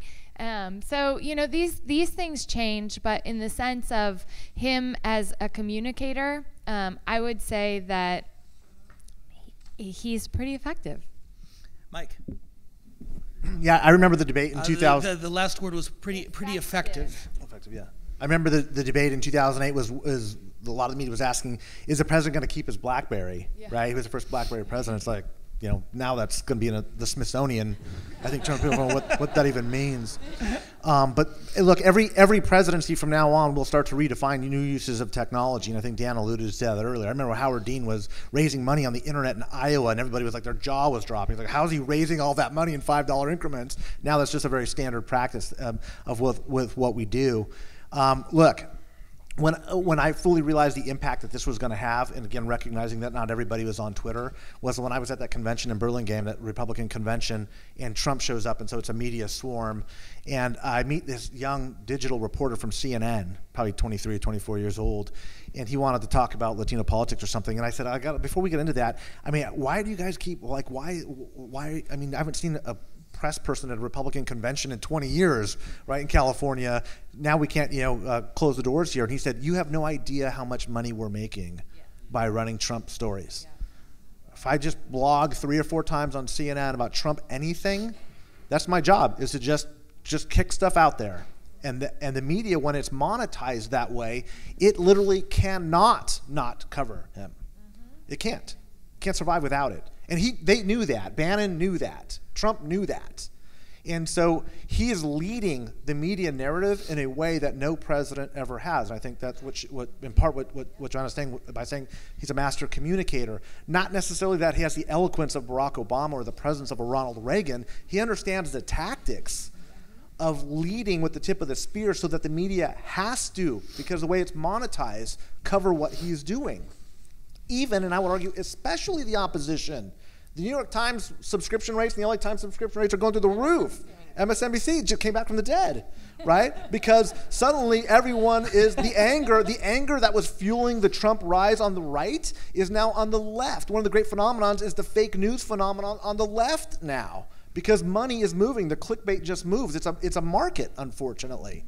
Um, and so that is just the way we are going to operate. And how we figure that out as a society and how our institutions like the, the press lead us or follow us or work hand in hand with us is going to be fundamentally different. It's one of those things I was talking about. The way the press handles the Trump administration now compared to what it's going to be at the end of this first term, I think are going to be markedly different. Markedly different. You're going to hear, there will be news sources that you were not even aware of in 18 months or two years that are probably being dreamed up somewhere um, I don't want to say U- Ukraine. I was going to say something else, but but somewhere they're being dreamed up um, to, to you know to, to, to drive this this monetization of, of clicks. Okay, so I've got, a, I've got a, a related question that I'm going to bring to you, Claudia, not necessarily from the beat you cover, but as a longtime uh, respected uh, broadcast journalist. And the question is, I think, a follow up on the points that Mike and Johanna have been making said, to, to what extent did Trump's experience with The Apprentice, to what extent did that help him shape this approach to communications? And to what extent did that presence help him develop his base of support? Well, I think we have always known of Donald Trump being a, a maverick. Uh, someone outside the box, somebody pretty unconventional, somebody who's uber confident. I think people were drawn to his swagger. Uh, I think people were drawn to his uh, winning. You know, he would stand there in the debate saying, "I'm winning." And, okay, and sure enough, he was winning. Uh, so I think he had an appeal to uh, obviously a lot of people uh, who voted for him, and I I think he's taken that that swagger and his you know he doesn't care uh, if people like him or not. again, he's not trying to build a consensus really. Um, and, and, it's working for, for him uh, to some degree. Uh, he thinks he's doing a great job. I mean, even the Rose Garden the other day, he couldn't help himself. He's like, I'm the president, with, with the House Republicans behind him. How often do you see a president 106 days in saying, I'm the president.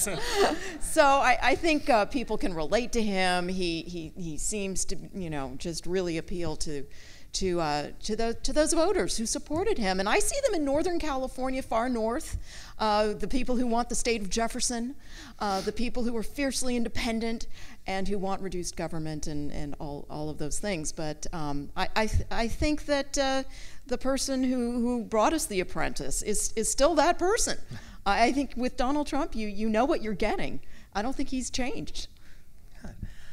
Um, before we go on, um, only one of our questioners, uh, I didn't ask you specifically to do it, but one questioner did, uh, in addition to her question or, or his question, offered their guess as to which of our two panelists were married. And I will and I will simply say that for the person who guessed the answer, your guess is incorrect. Mike and CJ are not our married couple on the stage.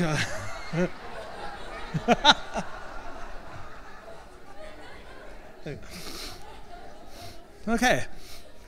But but but but but but points for but, but, points for imagination.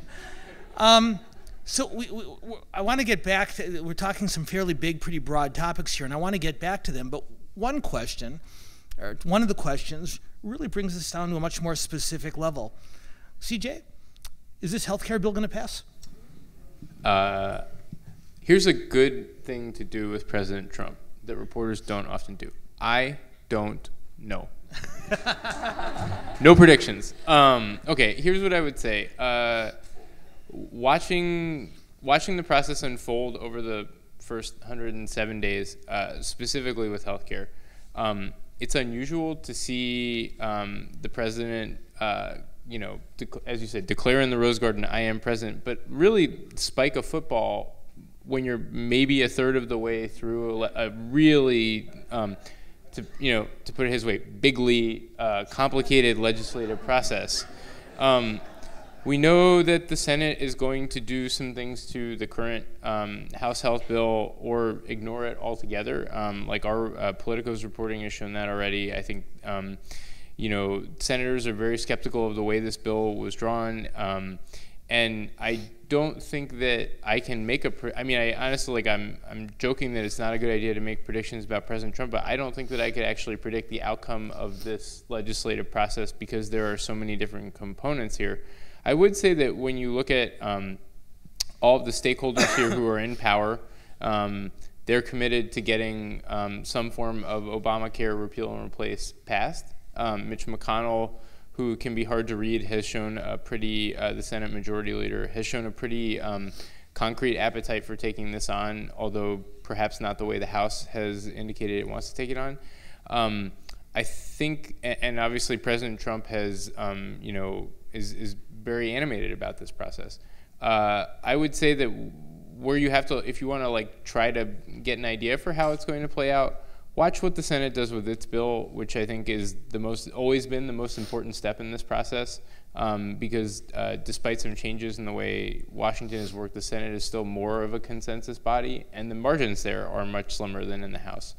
Um, see what emerges from there, and then watch how um, House Republicans react to it. Are they um, inclined to, uh, you know, play to some of the you know, ignore any problems that, you know, they might not have ignored in drafting the bill this time and just plow forward for a victory, or are they going to have some of the ideological fights that sort of characterize the first um, attempt to get healthcare a healthcare repeal and replace passed? Great, CJ, thank you. Um, Mike and Johanna, um, when you were talking about the benefits, or I should say the likelihood or unlikelihood of compromise in politics, you clearly touched a chord with our group here because I have a stack of questions specifically related to that back and forth. I've picked the one that I think frames it in the most compelling way, and I'll ask you each to address it. If we agree that a successful democracy is dependent on the principle of compromise, if we are saying that there is no compromise, are we saying democracy as we know it is dead? Mike? I'll pass. No. uh, uh, democracy. Or you can talk about the healthcare bill, whichever yeah. democracy as we know it, that's what I was alluding to earlier, I, I believe is dying. And I don't, look, I don't think that's a bad thing. Okay, there are very few things that have existed for 250 years that we still use all the time. Okay, there are some basic governing principles that we have to abide by. But look, I don't believe, and I, I, appreciated the applause on the on the compromise. You know, we all want to compromise, but I think it was you know wise when Dan asked how many of you were undecided. Compromise really means to people. I want you to agree with me. You know, everyone will say that's not what I mean, but that's what they mean. Okay, and and especially especially when you throw an R or a D in front of something, it just it is so polarizing. I, it's it's it's it's it's almost unmanageable. So that's why I also said I believe some of the basic foundations of representative government are really shaking right now. Because we used to be afraid if you made these more moderate districts that you know um, a moderate Democrat could get uh, take out a conservative Republican if they went too far. The challenges are now coming from the right and from the left. Nancy Pelosi has drawn a challenger from the left, right? Kevin McCarthy has drawn one from the right. I don't believe in a technological age when I can pull out an app right now and have 80 pizzas delivered to me, even in Ojai, right, at the whim of a button, that I, I'm going to trust somebody to go to Congress and vote for me on these key issues. Something is going to have to change with the way we interact in the filter that we uh, first this grand American experiment that you know we talked about in the Federalist Papers to prevent mob rule, right? This representative government is going to have to adapt it is not going to look the same way in a decade the way that it does now. I don't think it's going to go away entirely, but especially in the California political tradition where we tell pollsters all the time we hate ballot measures, but boy, we sure love them when they come up, right? We love direct democracy. There's going to be, have to be some sort of safety valve that is going to allow for greater voter participation amongst those that are engaged to be engaged.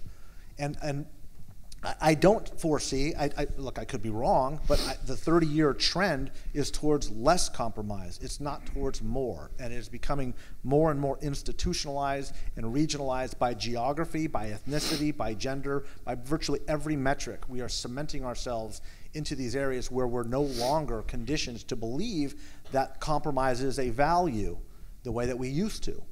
In fact, it's, it's, it's a bad thing. Okay? So that's why I said democracy as we know it. I don't want to say it's dying, it's changing. It's changing. It's just going through some very painful. So, Johanna, before you weigh in, um, I want to uh, take a, a, moment to, to talk to Mike's points because I think they're important.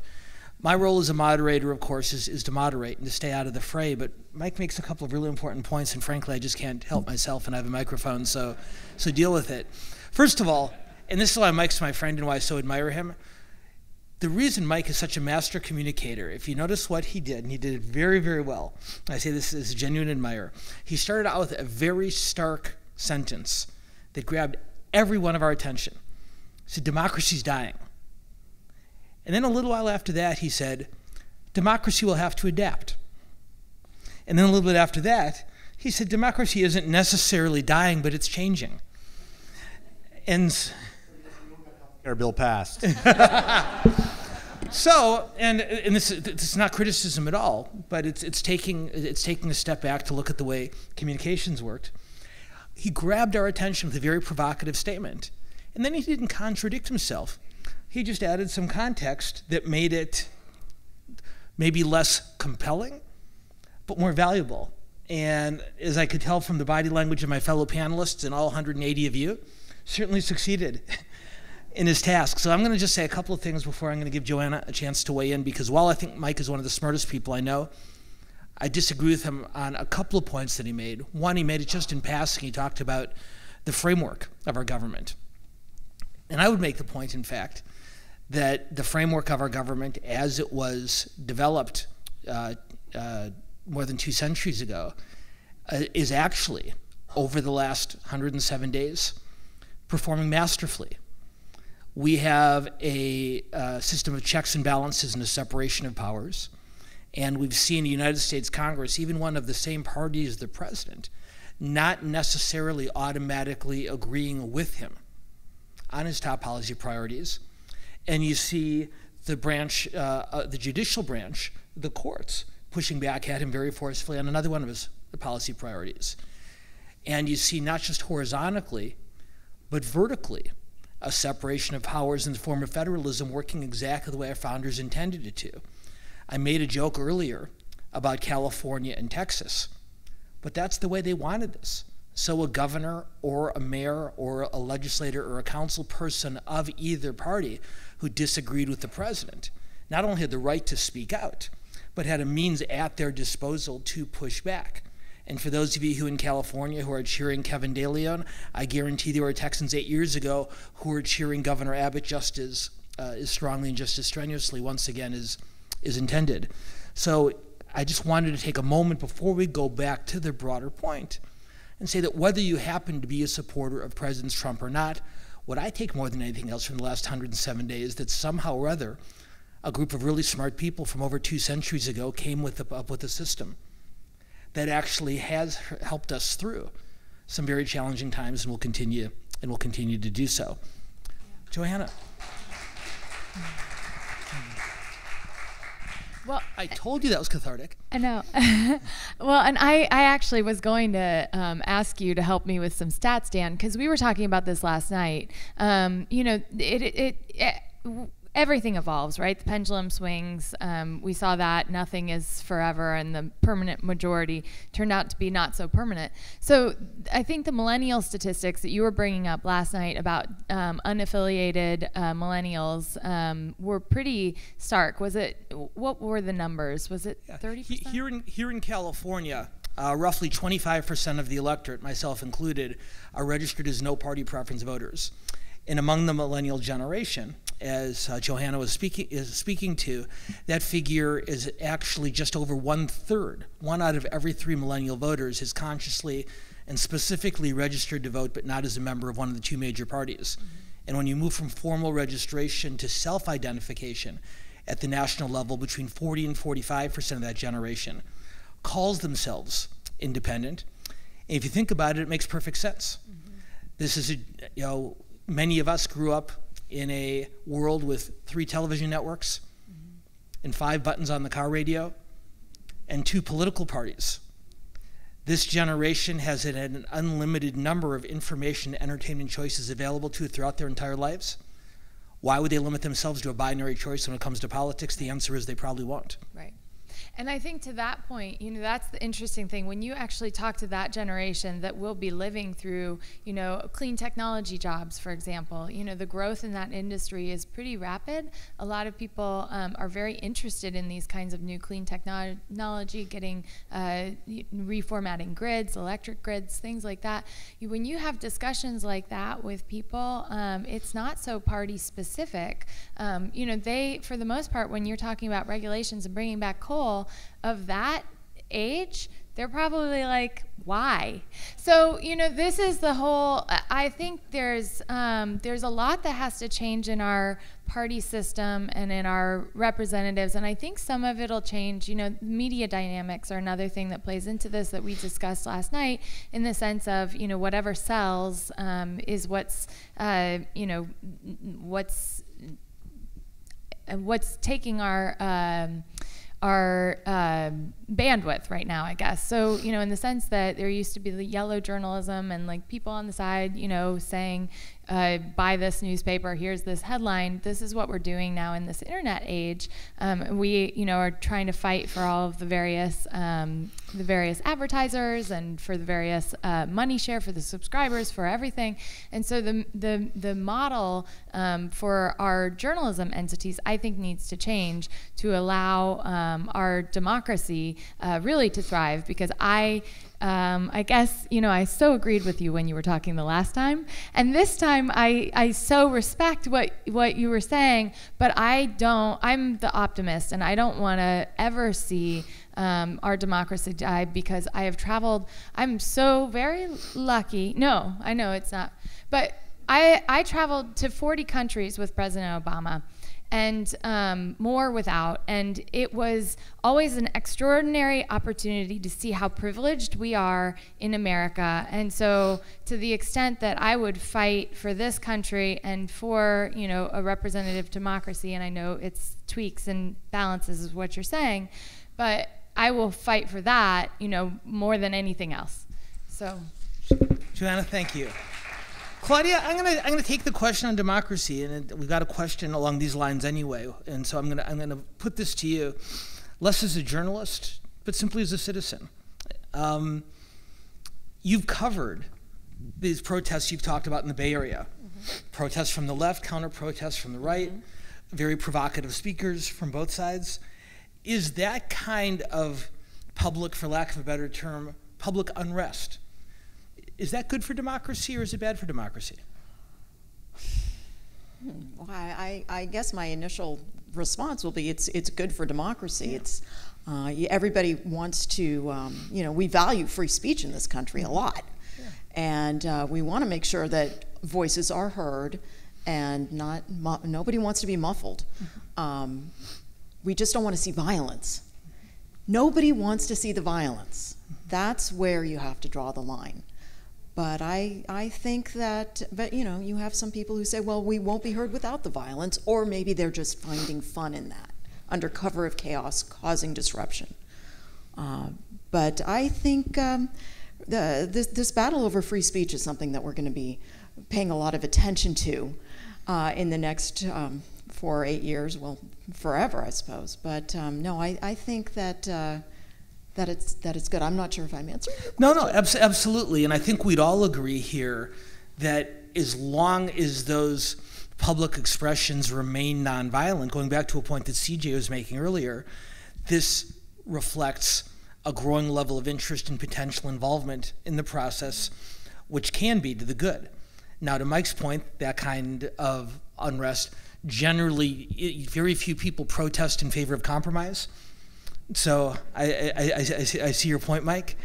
But there's no question that this election has led, and its aftermath has led to a higher level of public interest and engagement in the political process than we've seen in, in, in, in a lot of time. Seema, let me, let me ask you this. So you, you cover the politicians of both parties dealing with this newly engaged and newly energized and very polarized electorate. Do they understand it? I don't know if they understand it, but I think they want to take advantage of it or its power as best they can. And I think um, I, I, feel like I've spoken to more Democrats about this than Republicans recently. Um, I remember like in the immediate aftermath of, uh, of the swearing in, you know, there was the Women's March, and I talked to some people who worked for Hillary Clinton's campaign who were like, if you were, if these people were not out there knocking on doors and making phone calls in November, or I'm sorry, in October, you know, you have no business being out there protesting today. So there was like a level of anger, like, why didn't you show up for us? Um, now I think the question is how sustainable is this? And i think this is a question i feel like this is a question i've been asking every week because every week there is a new protest whether it's the women's march the tax protest the uh, science march the climate change march. I mean i've, I've lost track of the marches. Um, is this sustainable for the next two years or the next four years on the left?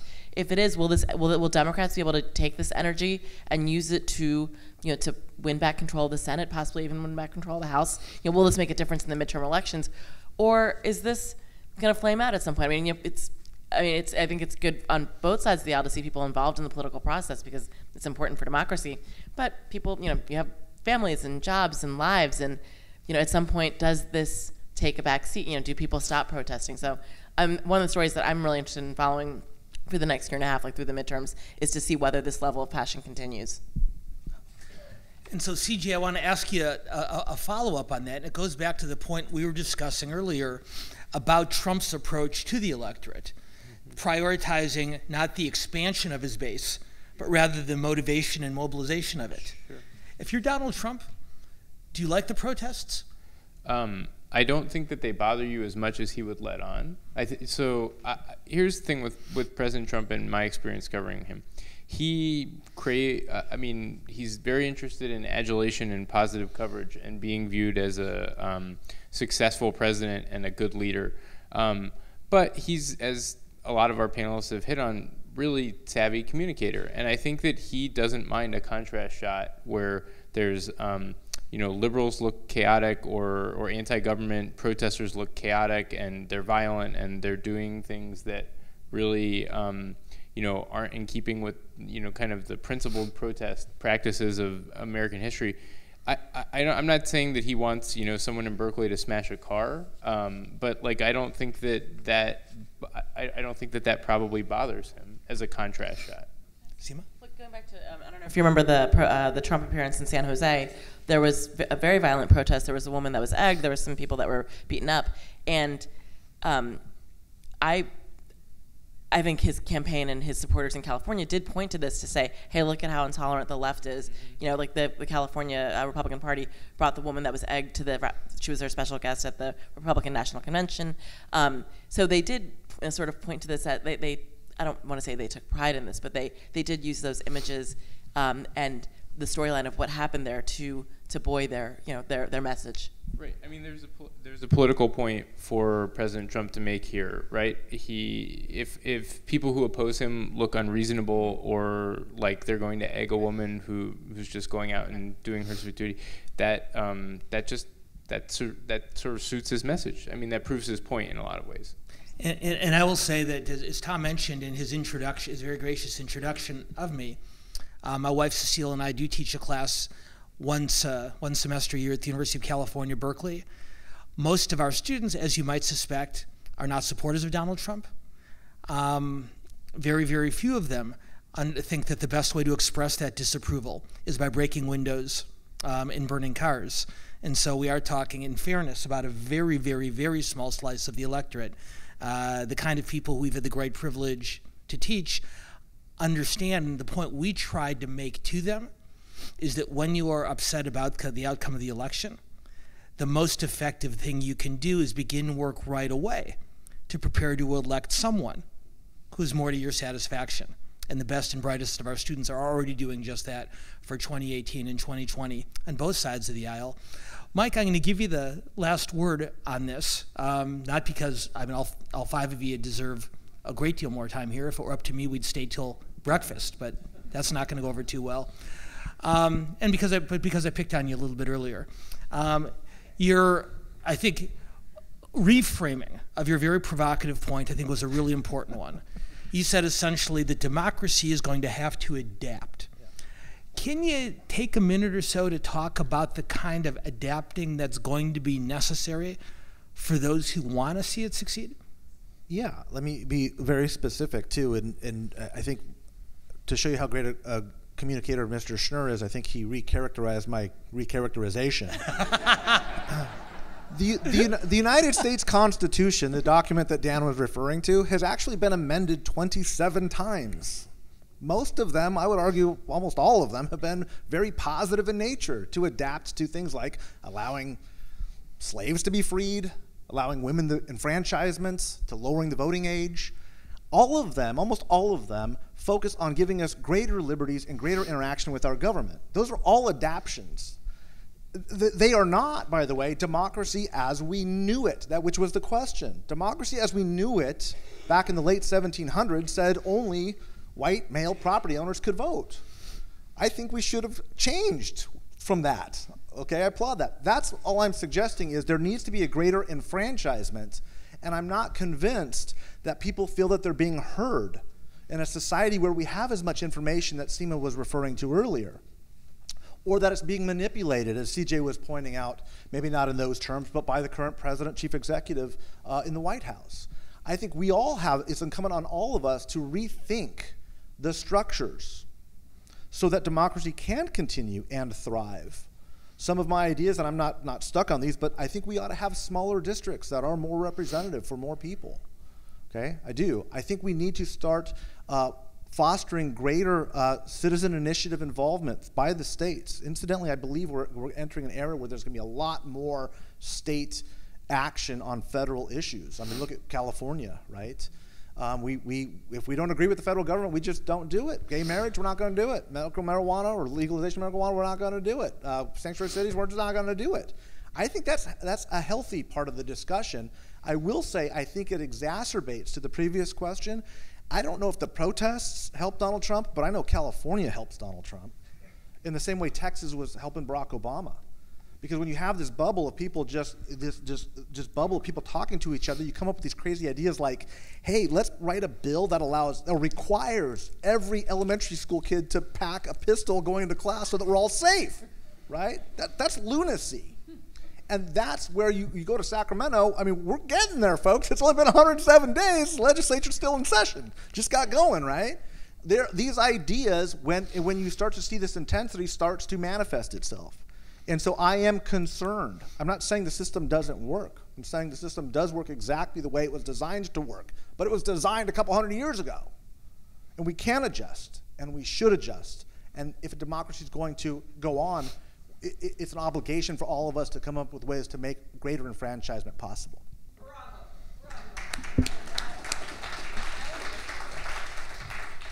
I was just going to add that those things I'll fight alongside with you for okay. democracy. So there we go. So even when our two partisans decide that uh, the, the, the, can agree on a broader overriding principle like that, um, I think that sends a very important message. And of course, I think what's worth for all of us uh, to reflect on is that while Mike talks, I think, appropriately about structural and sometimes constitutional changes, the biggest change, and each one of our panelists talked about it in a somewhat different way, is a more personal, is a, is a more personal one. And whether it's through voting, whether it's through protesting peacefully, whether it's through, through engaging in social media, or whether it's coming to Ojai Chautauqua, to me that interest, that level of engagement, that level of motivation to participate, to make your city, your state, your country, your community a better place is ultimately, I think, the kind of change that Mike is talking about, and arguably it's a much more difficult challenge in a much larger and in a much more diverse society, and I give him a lot of credit for framing it the way he did. When we started discussions about this series, we began by talking about doing a program on education. And ironically enough, nearing the conclusion of a conversation today about politics, I think what we find is ultimately the solution beyond redistricting, between beyond changes in social media, is an electorate that is educated in many, many different ways, but in particular, educated from a very young age about the importance of participating in the process. Some of you have heard me talk about this before, but as I think you know, the overwhelming majority of California high schools require their students to take only one single semester of civics education before graduating. And in most of those cases, it's actually 15 weeks of civics and American government and geography, all crammed together into 11th or 12th grade. And of course, the message we are sending, unintentionally, I, think, to our next generation of leaders is that this politics stuff, this government stuff, this democracy stuff is so unimportant that we're not going to bother teaching it to you for your first 10 years of school. Then we're going to shove it down your throat in one semester, and then we're going to expect you to turn around 18 months later and be a regular voter and a responsible citizen. And maybe that's not the best way for us to prepare our next leaders for the responsibilities and challenges of leadership.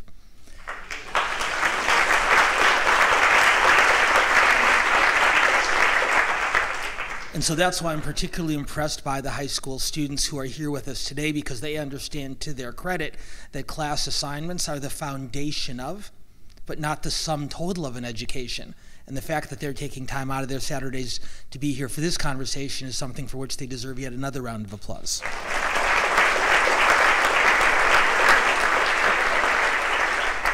In just a moment, I'm going to ask you to join me in thanking our panelists and giving them the kind of applause that I knew you'd want to give them uh, just about two hours ago. Um, but before I do, I think it's worth a reminder that while there have been many people involved in the successful development of this program series, there are a few in particular that deserve a great deal of credit. I mentioned them earlier Tom and Esther Wachtel, and of course, Catherine and Tom Kraus. And Tom is going to join us here at the podium once again. So, Tom, please join us and let's thank our friend Tom Kraus for everything he's done for us.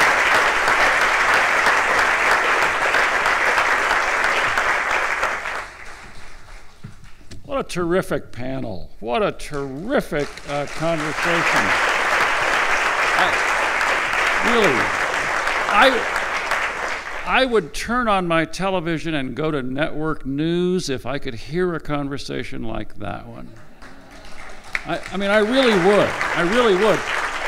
I, I would sit through commercials to listen to it. And I say that partly jokingly, and but sincerely, and partly just to suggest that th- this is the thing that I believe our population in the in the country want to hear. This is the thing that they're interested in. Um, so, a couple of very quick uh, announcements. There is another panel on June the 3rd. It's on media uh, and, uh, and society and politics. Uh, every one of these panels so far has gone right to the media in various ways. And so it seems just like a natural progression that we take that issue on directly in and of itself. We're going to do that on June the 3rd. Uh, please join us. If you want to get our mailings, uh, ohiChat.org is the uh, place to go. Uh, if you um, also, you can just give us your email address and we'll put you on our mail list. Uh, if you enjoyed this evening, this afternoon, if you thought it was beneficial, uh, send us some money. we, uh, we, it costs money to put these programs on. We charge, but we don't make as much as it costs by quite a bit. And we don't have outside sponsors. Not that we wouldn't uh, take money from an outside sponsor if someone came along with no strings, but we don't. So you can contribute financially. You can also contribute by helping us get things organized and attract people and get the word out and all that sort of thing. So uh, let us know if you are interested in doing that. We welcome uh, your involvement. And Dan, what a wonderful job. It's just really a thrill.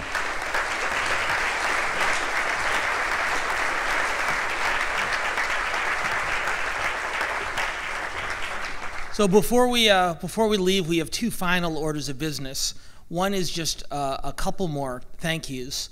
Um, please join me with all the enthusiasm you can muster in thanking Andy Gilman and his incredible team for all the hard work they do to make these things such a success.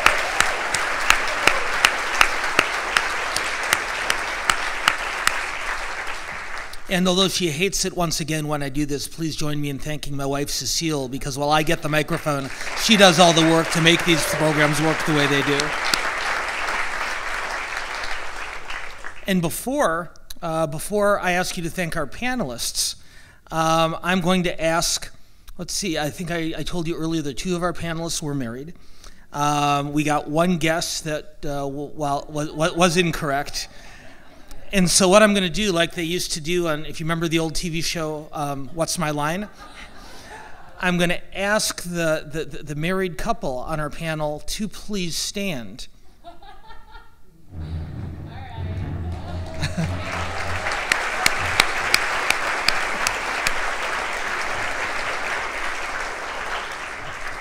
CJ Jackson and Johanna Maska, thank you very much. Mike Madrid, Seema Mehta, Claudia Cowan, what a phenomenal conversation. Thanks so much to all of you. Can't tell you how grateful we are to you.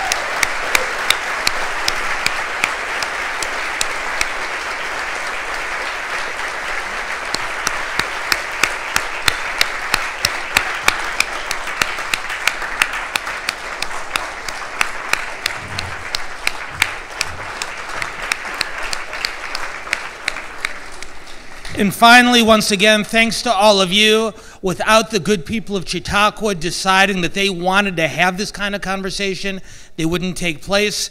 You've set a tremendous example, and we're so grateful to you for letting us join us. Once again, give yourselves a round of applause. Have a great night.